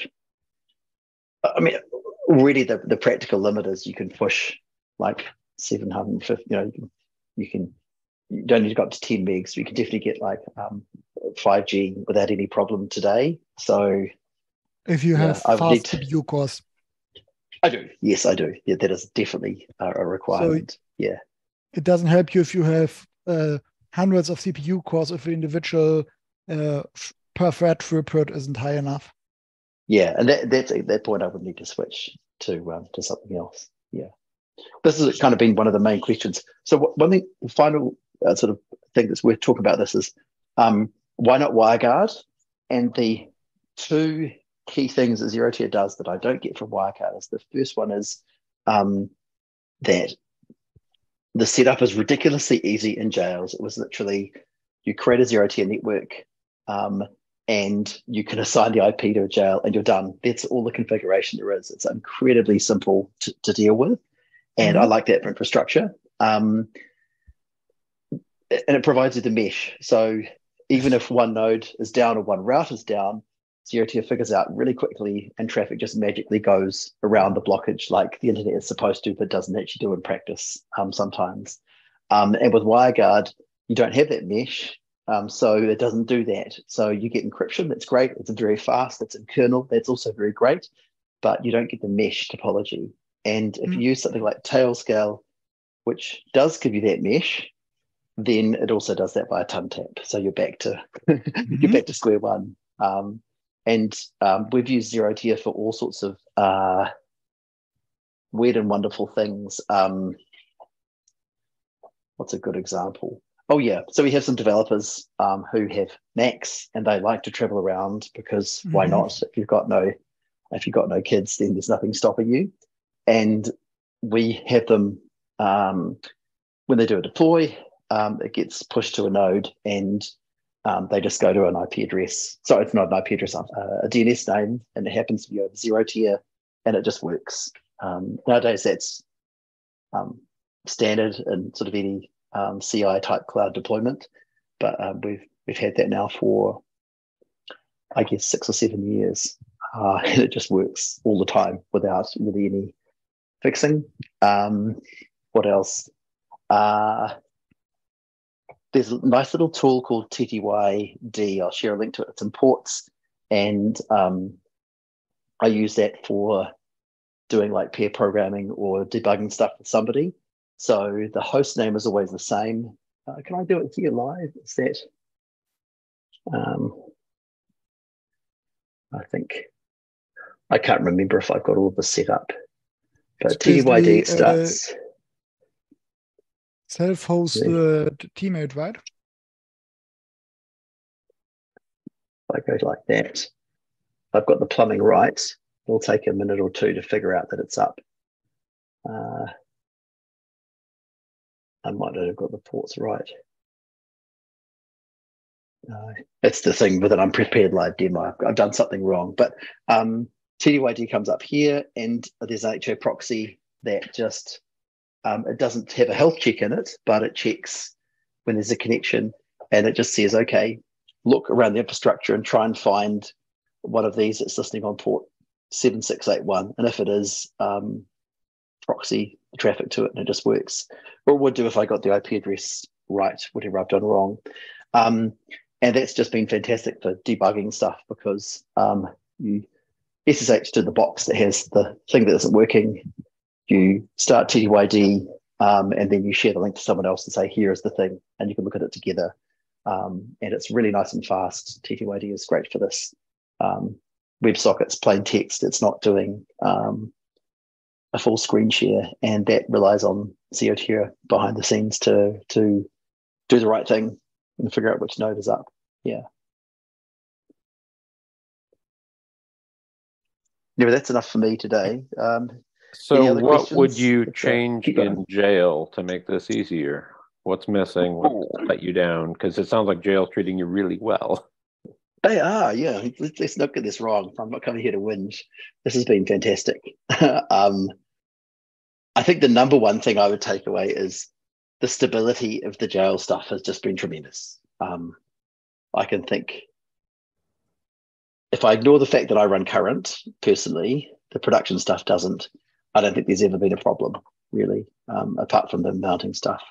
the main thing I wanted was the sort of dynamic stuff here. Um, JSON API via Unix socket, user space jails. I would love user space jails. Um, kernel enforced single UID jails. I don't know how that would actually be. Um, it could be a Mac framework thing. It could be something else. I don't know. But um, I would like uh, the ability to create jails, not the networking stuff, not the firewall stuff, but just the jail itself as a user. And the kernel should make sure that you can only run um, non-root processes in there, which in my world would make breaking out of jails basically impossible. Um, yeah. Um, kernel force UIDs, we actually talked about this and it's there. I just didn't know. Um, I guess I would want the jail tool to say, instead of assigning uh, the the yeah I, I, the jail tools should be able to use UIDs as names and not just a JID um, to to talk to each other. Um, what else have I gotten here? Yeah, so I've done some experiments with this. This is something for another day. Um, but I wanted to know, can you package a jail up so that you can go package install my jail thing and have it appear? And the answer is kind of yes, you can, um, but not in the make files that we use in the FreeBSD ports tree today. But if you use package create yourself, you can put all the bits in there to do it. Um, and I experimented with this little hack where um, package create, you'll have the package create dot sandy with my package create secret notes. Uh, find here. Okay. Yeah, so package has these post pre and post scripts, and you can write a little bit in there that says, look for the data set called jails, um, or the, look for the thing that's mounted at slash jails. And if it's if it's a ZFS thing, then create a new data set that's a subsidiary of that. And you do this before um, the jail is installed, and then jails is sorry before the package is installed, and then package does its normal unpacking of stuff into the mm. predetermined location, but that happens to be a ZFS data set. And so you can actually deploy your templates um, for your jails instead of the Ansible mess I, I currently have. Um, you can deploy them directly via package, um, which is pretty cool. Um, but I didn't really solve the upgrade story for this, um, so I haven't I haven't moved further with that. But that'd be pretty cool. Um, you... Alan Jude asked me, I think, like a couple of weeks ago, why do you want to use package for jails? And I couldn't remember at the time, but the answer is because package is really easy. Everybody in FreeBSD uses it, and it already supports signatures. So you have a trusted path that you've already established for, for downloading and fetching stuff. Um, and that would mean that my application deployments would look like package install my jail foo, and then the foo application would be there and all of its jail glory ready to go. Uh, that'd be pretty cool. Yeah. Um, Maybe not a great you, idea, but um, it's it's. That is a really interesting idea because we have talked uh, in these calls about the need for a format to exchange uh, jail templates or and packages could be that agreed upon format uh, which does not belong to any single jail manager. Yeah. Yeah. And uh, you could further decouple this by uh, looking for a data set tagged with a certain uh, user property instead of demanding that the file system is laid out in a exact fashion. You would have uh, some user property in the jail root dataset to tag it. I'm not quite sure what you mean, but um, let's say someone wants to have his jails under user local, and someone else wants them under slash jails directly. Someone else has them ah, yeah. Under slash opt or under the name of their jail manager or whatever, mm. somewhere under user local something. Yeah, you could just put it in here. There's there's um option there's space in here for optional tags. I can't remember. In the hook, um, I mean. Uh, in the yeah, but I, I mean, in the actual package itself, you could put random uh, data in here. I can't remember what the field is called. You can put anything you like in mm-hmm. here, and then you'd be able to pull that out. Yes. Or you could have uh, some uh, symlink to the mount point or something at a well-known location. Yeah. Are your um, jails complete user lands or mm, fractional and minimal? Uh they are all what do we call them? Fat jails. Okay. In my world, yeah. I, I, th- I, think people sometimes get distracted. They go, "Okay, I've got to have thin jails. I'm going to save so much space. I'm going not really CDPS is compressible." And yep. um, one user application, uh, like I'm just trying to think here. A typical application for us is around like 100, 120 megabytes of application. So that's less than it's more than FreeBSD source. So why are you bothering? Yep. it's like it really doesn't gain you anything. Um, and right now they're all based off a single ZFS data set that is cloned. So um, it costs us nothing. it really costs us nothing. Yeah.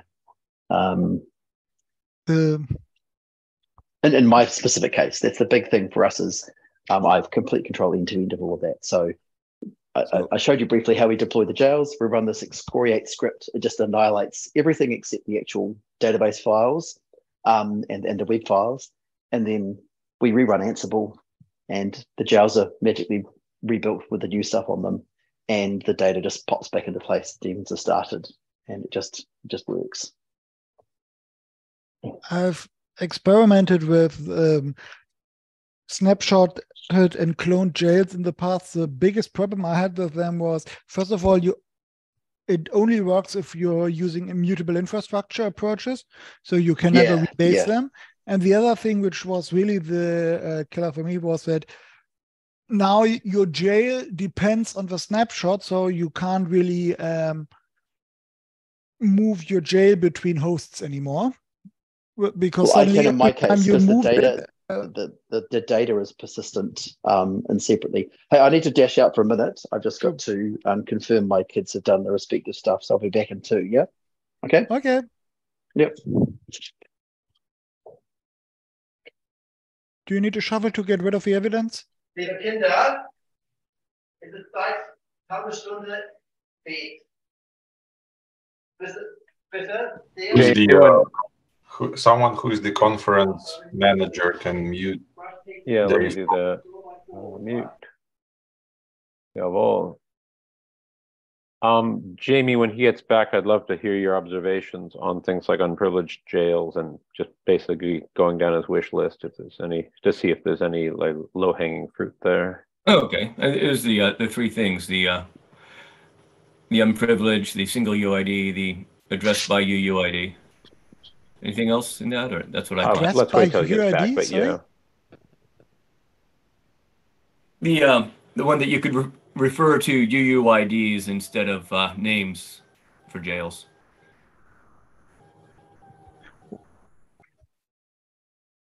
Is this oh, the kernel enforced UUIDs. The uh, yeah, the unique the u- so, uniqueness of the UUID.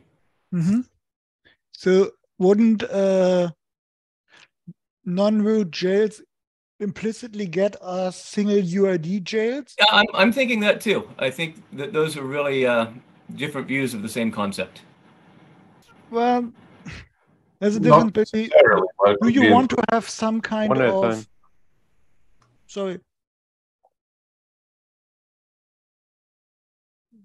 Uh, Jamie, did you have something? No.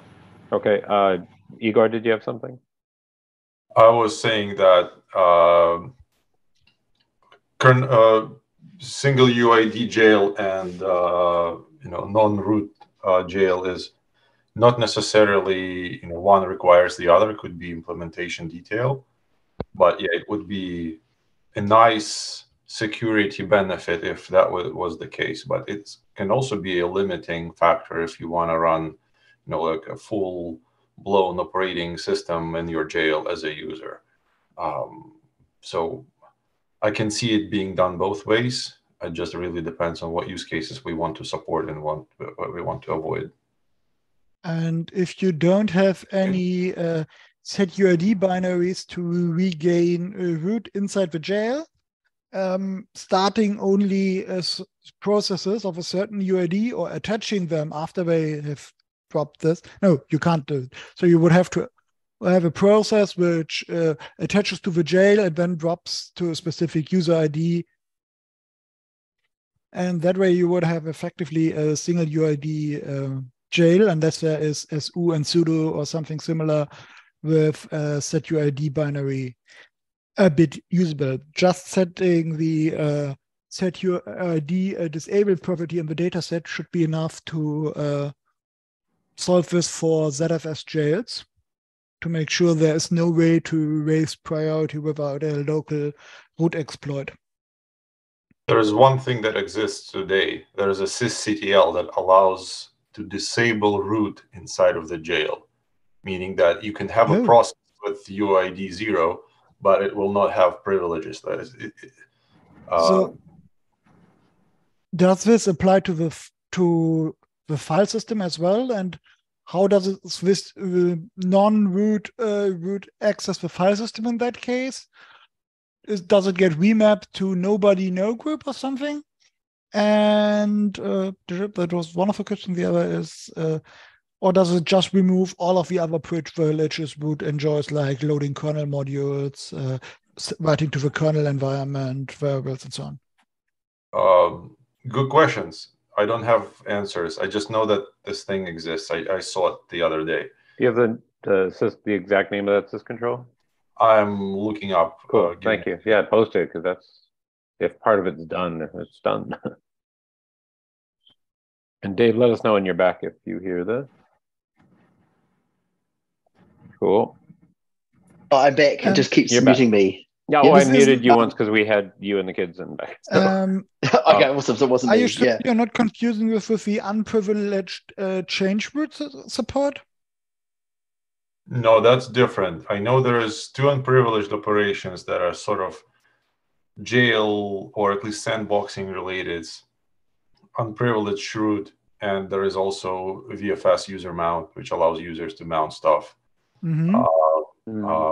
uh, just give me one more minute. I will yeah. find the, Go ahead and find that. Dave, I asked Jamie what his thoughts were on, say, the unprivileged jail operations and what that might look like, plus yeah. the UUID so the, handling. The use cases I had in mind for this was um, the kernel enforced single UID jails was actually web processes because um, the two sort of entry points to our system, one of them is um, standard web server stuff. That's that's our number one concern for compromises. Um, and if inside the jail we have no actual networking, we just have um, a Unix domain socket, we can support the HAProxy connection with that. So it has no network access.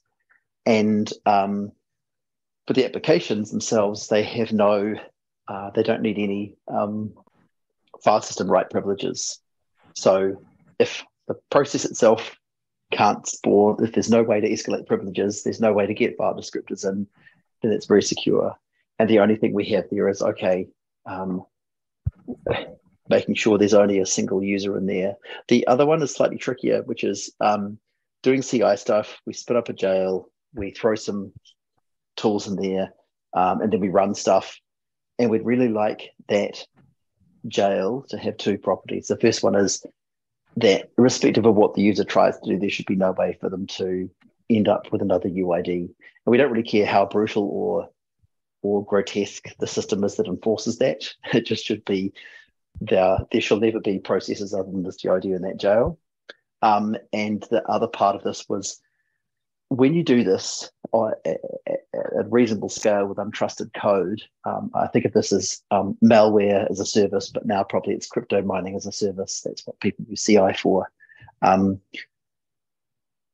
you want to make sure that each um, invocation of a, of a, of a jail, of a, of a CI build, um, has a unique user ID, or at least not the same as the other jails that are concurrently running. And um, that's a little bit tricky, uh, tricky at the moment. You have to have a registry of user IDs that are in use. Um, and we looked at this. This is a few years ago now. We looked at doing this, and I think we tried the tra- the same trick as with the um, deterministic jail names and IP addresses. We take the last um, sort of three or four bytes of um, of the hash and use those as as a user ID, so long as it's above I can't remember like thirty three thousand or something like that with some threshold. Um, if it's above three thousand, we could use it. And the only problem we ran into is that um, you then have to change the permissions on the file system every single time. And I mumbled something in a dark room to Alan Jude. Wouldn't it be good if ZFS could do that remapping for you? So we would say, hey, ZFS, clone this data set. And by the way, when you do it, pretend that every time someone Uh, asks for the UID, it just comes back with this one. Um, So I um, dug a bit in the FreeBSD crazy idea. history. And there used to be such a thing up to and including FreeBSD 6 called the UMAP file system. uh-huh. Uh, It was removed uh, once the virtual file system uh, moved out from under the giant lock. UMAP, Yeah. Uh, Mount UMAP, uh, yeah, and it's uh, 6.4 was the last uh, FreeBSD version with it included. The problem was that uh, sort uh, unmounting them and so on um, now required proper locking, and nobody cared to uh, provide that. yeah, no, I wanted to fix it. No, uh, exactly, and it was removed pretty late in the 7.0 development Mm, to get the virtual file system out from under the giant lock and finally see some payoff for the all of the SMP uh, pains endured during FreeBSD 5 and early 6s. yeah, Mm. I missed all of that. Sorry to say. Um, Count yourself lucky. Um, but um, I only caught the last and tail end of it, and basically I was told, no, no, no, you don't ever want to uh, try a fi- uh, five dot something release. Uh, don't, don't, don't. Um, Yeah. The only time I really used it was uh, when I tried to build my own uh, GenOS and VirtualBox and had to pass through this troublesome uh, episode on my way from 4.8. But um, it's not fun. And there's still a rudiment of this feature in the uh, um, NFS code to do the remapping from root to nobody. Uh, So- yeah. Oh, yeah, this- This was basically the, this feature as a um, overlay file system, but configurable to remap multiple users and groups. So the functionality should still be buried in there, but we saw, uh, probably have to uh, uh, assemble the council of elders to find out how it ever was intended to be used for anything but NFS. Because uh, just uh, yeah. change routing uh, every uh, change owning and change grouping every uh, file in a ZFS snapshot uh, to be cloned is not um, reasonable for any thing. Even just a fairly minimal gel would be too uh, expensive. Oh, yeah, it would totally be. It'd be a tremendous performance hit. It would be brutal, especially as most of the change, But, the, um, the toning would be unnecessary. Exactly, it and it would uh, duplicate all the metadata because of the bubbling up to the uh, common root of the acyclic graph, because it's still a path copying B tree at the, at the end of the day. Yeah. Um, but uh, the question is, do you really need unique user IDs between jails? Because these are only meaningful to the host. And why does the host care about the user ID separated from the jail ID? There is still at least uh, a, a few weird places with uh, resource limits that are tied to user where it Um, the- sees it across jails. I know, uh, But- yeah, like UFS quotas and some of the uh, mm-hmm. set Ah, yeah. but Um, the- stuff. But the hierarchical uh, resource limits can also be scoped on jails. That's true. That that's true. That has been put in now.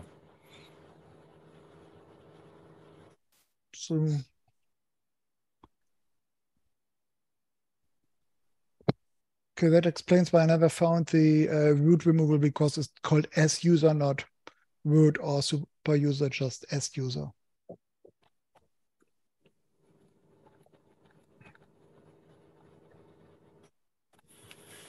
Okay, yeah, that that one. Okay, yeah, that makes sense. Right, yeah, it has nothing to do with not having the user ID zero. It still is the root user ID, and that answers the file system question. Yes, it has all the root file system permissions.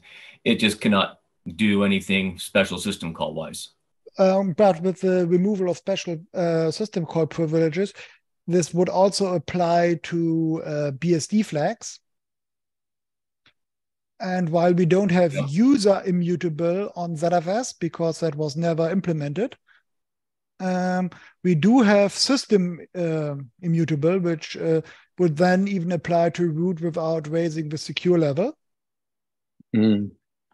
Uh, and this could be used uh, to, if the uh, root user inside the jail isn't privileged, it couldn't remove uh, the, or abuse its file system access to remove um, BSD flag system immutable at secure level zero and one.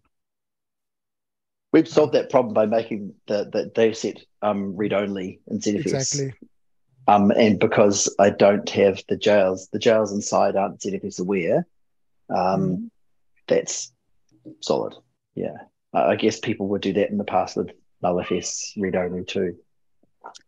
Yes, they've done that in the past and we're still doing that.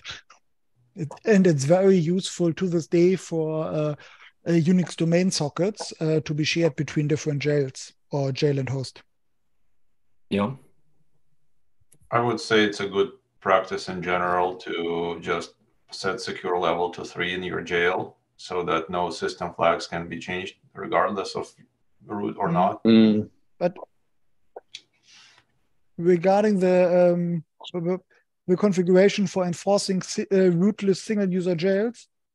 The problem is that at the moment a process attaches to the jail, it still enters the jail as uh, UID zero, but by disabling its privileges inside and thereby implicitly those of, all others, um, and if you disable ptrace and so on inside the jail, uh, there would be no way ability to immediately attack the jail process from inside the jail to prevent it from dropping privileges.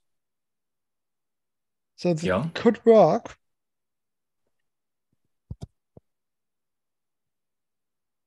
I guess that's sort of the, the, the logic for user space jails is there's a lot of things we do where we simply don't need root. We, we, we're um, you know cloning some some Git stuff um, shuffling things around with rsync or something. Um, and we don't want to have to spawn a we don't have we don't want to have to have root to spawn a process that gets run in the jail. We just like to be able to say, hey, I'm a normal user. Please go and run this in my normal jail that's under my same user ID. So if you have the uh, normal user ID, normal users able to create the jails, is this tied in and we were discussing this while while you left for a moment. Is this tied in with the idea of a jail only being able to have a single user ID, or is these two different features? Um, I, I think the more I think about it, I think these are really the same thing, looking from different angles. Um,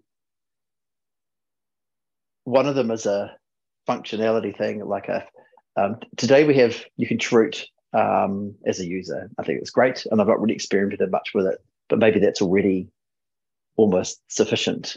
Um, the enforcing, uh, enfor- yeah, I, I, guess I'm just trying to think back now because some of the stuff is like five, five plus years old. One of them was looking at MAC frameworks. So there's this canonical problem we have: you create a jail and you drop an IP uh, uh, um, interface into it, but the root user inside the jail can change the MAC address um, for example. So the solution yeah. for that is then you create a second jail inside, um, which totally works, but it's it, it, feels clunky. and someone wrote um, a MAC um, framework to, I can't remember now. It's either blocking the change of the Ethernet address or um, you can't change the IP address. It doesn't really matter. And I remember looking at that and going, "Oh, that'd be really handy if we could have that." Um, but for user IDs, so you can't you can't change user IDs. Um, Which does seem more like a MAC question than a jail question. Yeah, I, I, I think so. Um, and the second one was more from the point of view of these CI machines um, take these relatively untrusted jobs. Um, it's not that the jobs are untrusted; it's just that we're taking untrusted input from GitHub, and who knows, um, who knows what they could get up to there. Yeah, um, and then we run commands based off that input. It was looking at trying to minimize the exposure there, and that was saying, well, okay, if at the moment we take this untrusted input and then hand it to root because we had to create the jail, and what we'd really like is to hand it to another user process, not not a root one. Um, I think the the trick of t- taking the user data today and and and hashing it um, is actually quite good. We, we're pretty sure after that that we know precisely its length and we know um, that it contains only ASCII data. Uh, that's a good enough trick. But ideally, we wouldn't need root to spawn the jail at all. And that problem um, becomes even less, less of a concern. So just to confirm, here and now, a, an unprivileged user cannot create a jail of any sort. Right, that is a root operation. Okay. And yeah. in order to make it so a unprivileged user could create a jail, it would, uh, I mean, it, it would be easy to do, but I would want to make sure I was doing it right. I, you know, that's that opens potential holes that I have to make sure aren't a problem. Well, it's definitely a non-trivial thing. Yeah. Yeah. Linux had like five or six years of security vulnerabilities once they've enabled unprivileged user namespace unsharing. But, but yeah, okay. A bunch of things to make the problem a lot harder and more dangerous because of they don't just partition the global namespaces, they alias and we map between them. So ah. we uh, talked about last week. You can have your own um, PID namespace. And if you, for example, if you have a container with its own PID namespace and a daemon running inside this container writes a PID file and something from outside the container looks in a privileged supervisor script to monitor the system, looks at the PID, sees, oh, the service doesn't work, and sends uh, the signal to the PID from outside the namespace. And yeah, because the PIDs don't match, right? And so you had lots of confused deputy problems in uh, production systems.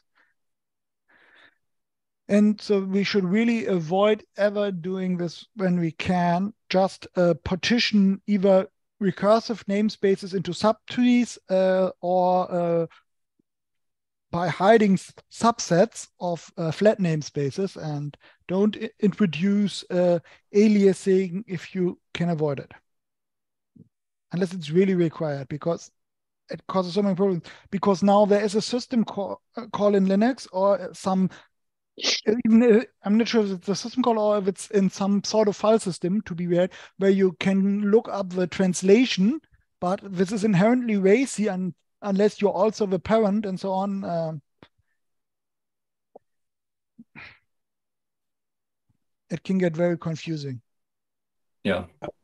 This is the bit that I was, I, I think I failed to highlight in my previous meetings uh, uh, um, presentation is that the uh, Linux namespaces are fundamentally different in the sense that you can build completely disjoint view of the system, and then yes, as um, as Jan says, it's like then you need to translate between you know outside of this namespace or inside of this namespace are two different things. Where in FreeBSD, it's always a subset of of of the system, right? So uh, I think we should keep it this way because that way we can avoid many problems that Linux was having. the exception is where you have a complete new namespace with no translation be, uh, between it, like uh, VNet, where you get a new network stack instance, but those yeah. don't share uh, the resources which could be translated because an interface, except for the uh, special purpose ePair interface. An interface is only in one VNet at a time. An ePair is a pair of interfaces, and one half of the pair can be in each VNet. And yes, I know that uh, works can move, move packets between VNets, but that's a theoretical problem. Yeah, I know that uh, some stuff that uh, Bjoern Zeeb had done with private jail process spaces had gone the non-alias route and just made it so you know if, if jail had its own process space then those processes were not visible outside the jail. What so like the, be... like the VNet interfaces, it, you know, they just do not exist anymore in the parent space. But uh, if we there was a way to get back this uh, remapping at the file system level, where you get a new um, overlay mount point, which does the uh, translation of UIDs and GIDs. Um, like the uh, old UMAP FS uh, did according to its uh, surviving man page. And this would be really useful then to have a feature on the host to basically reserve parts of the global UID uh, and uh, GID namespace to be partitioned to jails so that you can ensure that they're overlap free. Let's say uh, all I would reserve all user and um, group IDs over 100,000 or something to be allocated somewhere else. And even the root jail, so wouldn't touch it. And then I could have a jail and assign it uh, 10,000 or whatever, or however many I need, um, user IDs and group IDs as the range for it to use and the kernel would just enforce hmm. that uh, it can't uh, even the privileged super user inside the jail can't do this and maybe something along the lines of if someone attaches uh, jail attach implicitly is also a change in uh, credentials to something else because in that case you probably want an atomic way to enter into the jail as a specific user ID or something. Maybe it would yeah, be enough to have the, a new jail attached system call to enter those jails, uh, which also takes the from the global namespace, but a part which has been reserved for use inside this jail, basically become this UID and GID and so on in this jail, and then the kernel would check that this jail is allowed to make use of this uh, range so that uh, attaching to a jail and dropping your privileges becomes one atomic system call. Pillman? I mean, that might be a good idea anyway, even without the partitioning. Because if you have uh, don't set the S user enable bit and allow ptrace and other things inside the jail, uh, root inside the jail could, in theory, exploit the race condition where a pr new process attaches and then still maintains some privileges like file descriptors from outside the jail.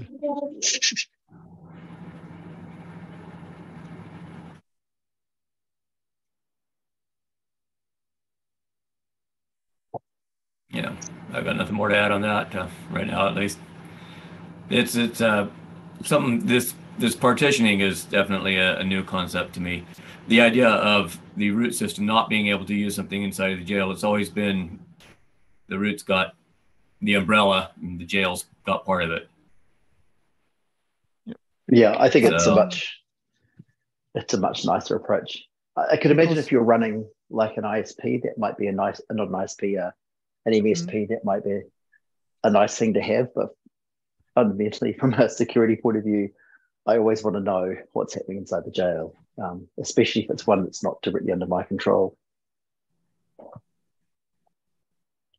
Yeah, that, that's why I, I think the uh, FreeBSD's approach is better. Just keep uh, jails are a subset of a host environment, whether it's another jail or just unjailed system. Mm-hmm.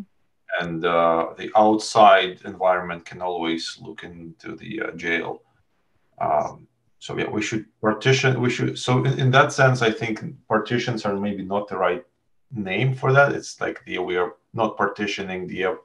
If we're talking process IDs, we're not really creation another partition with process IDs where we can have bit zero in both of them. We mm-hmm. are creating a, a view into into the the same namespace, but just that one that has that is a, a partition. But what we are doing in that case, if this is, gets implemented, would be to uh, take the global namespace, partition it. But in order to make sure that this partitioning has the semantic effect we want, we have to pre-allocate or reserve a large enough uh, range uh, did Jamie just drop off? No. Uh, so if no, we, still here. Because in theory, an accidental uh, fat fingered uh, root on the host could accidentally use the host permissions to um, enter into a partition which has some is supposed to have some semantic attached to it, like it belongs to this jail. So what we need is a way to even in the host to not make it invisible, but make it unavailable. So you would see the process, but you couldn't set your effective user and group ID to it. I'm not sure it would be a good idea. But or, sort of violates the uh, current promise of jails where root outside of the jail can always touch things inside of the jail. So it, this is a this is just uh, this would only be um this isn't that the, he, he couldn't do something like send a signal to this or something but it's that you want to make sure that you even if for example you run add user and run out the end of your intended range because you, your user creation script was triggered by some uh, infinite loop or something you don't want to ever run over the end and accidentally do this.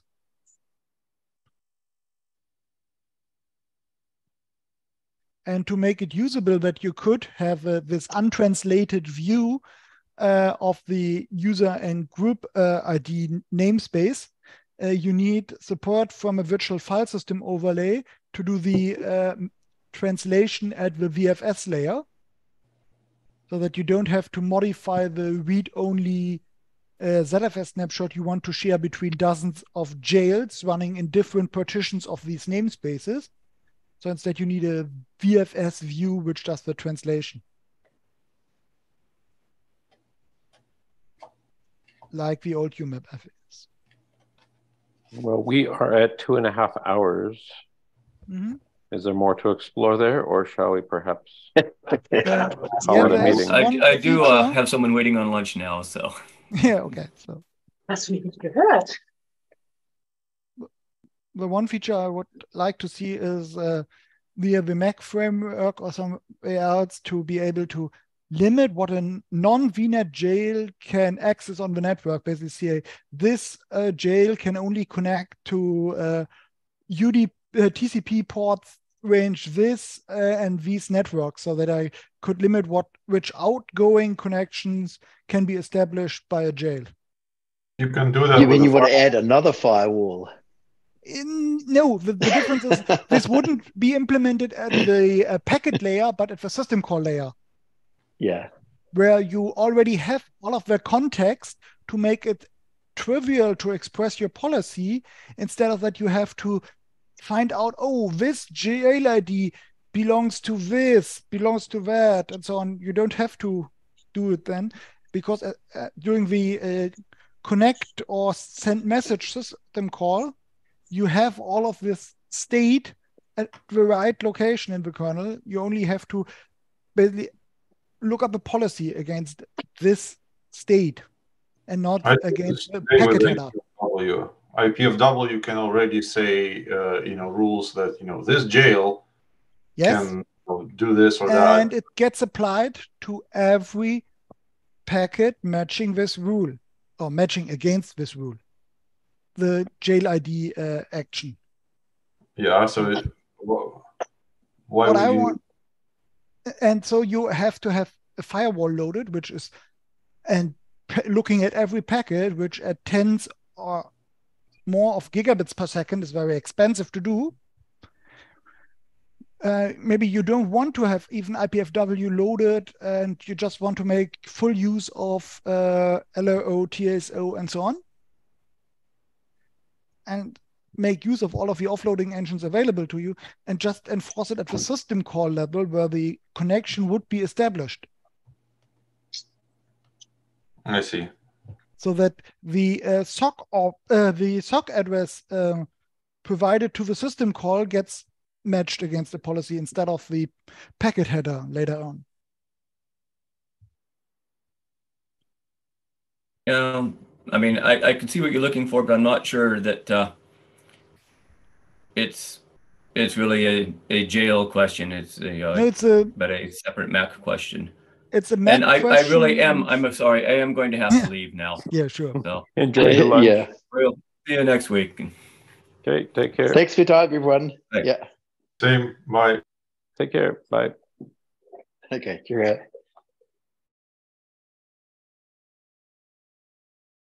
Um, on another note, I did look uh, deeper into libucl Yes.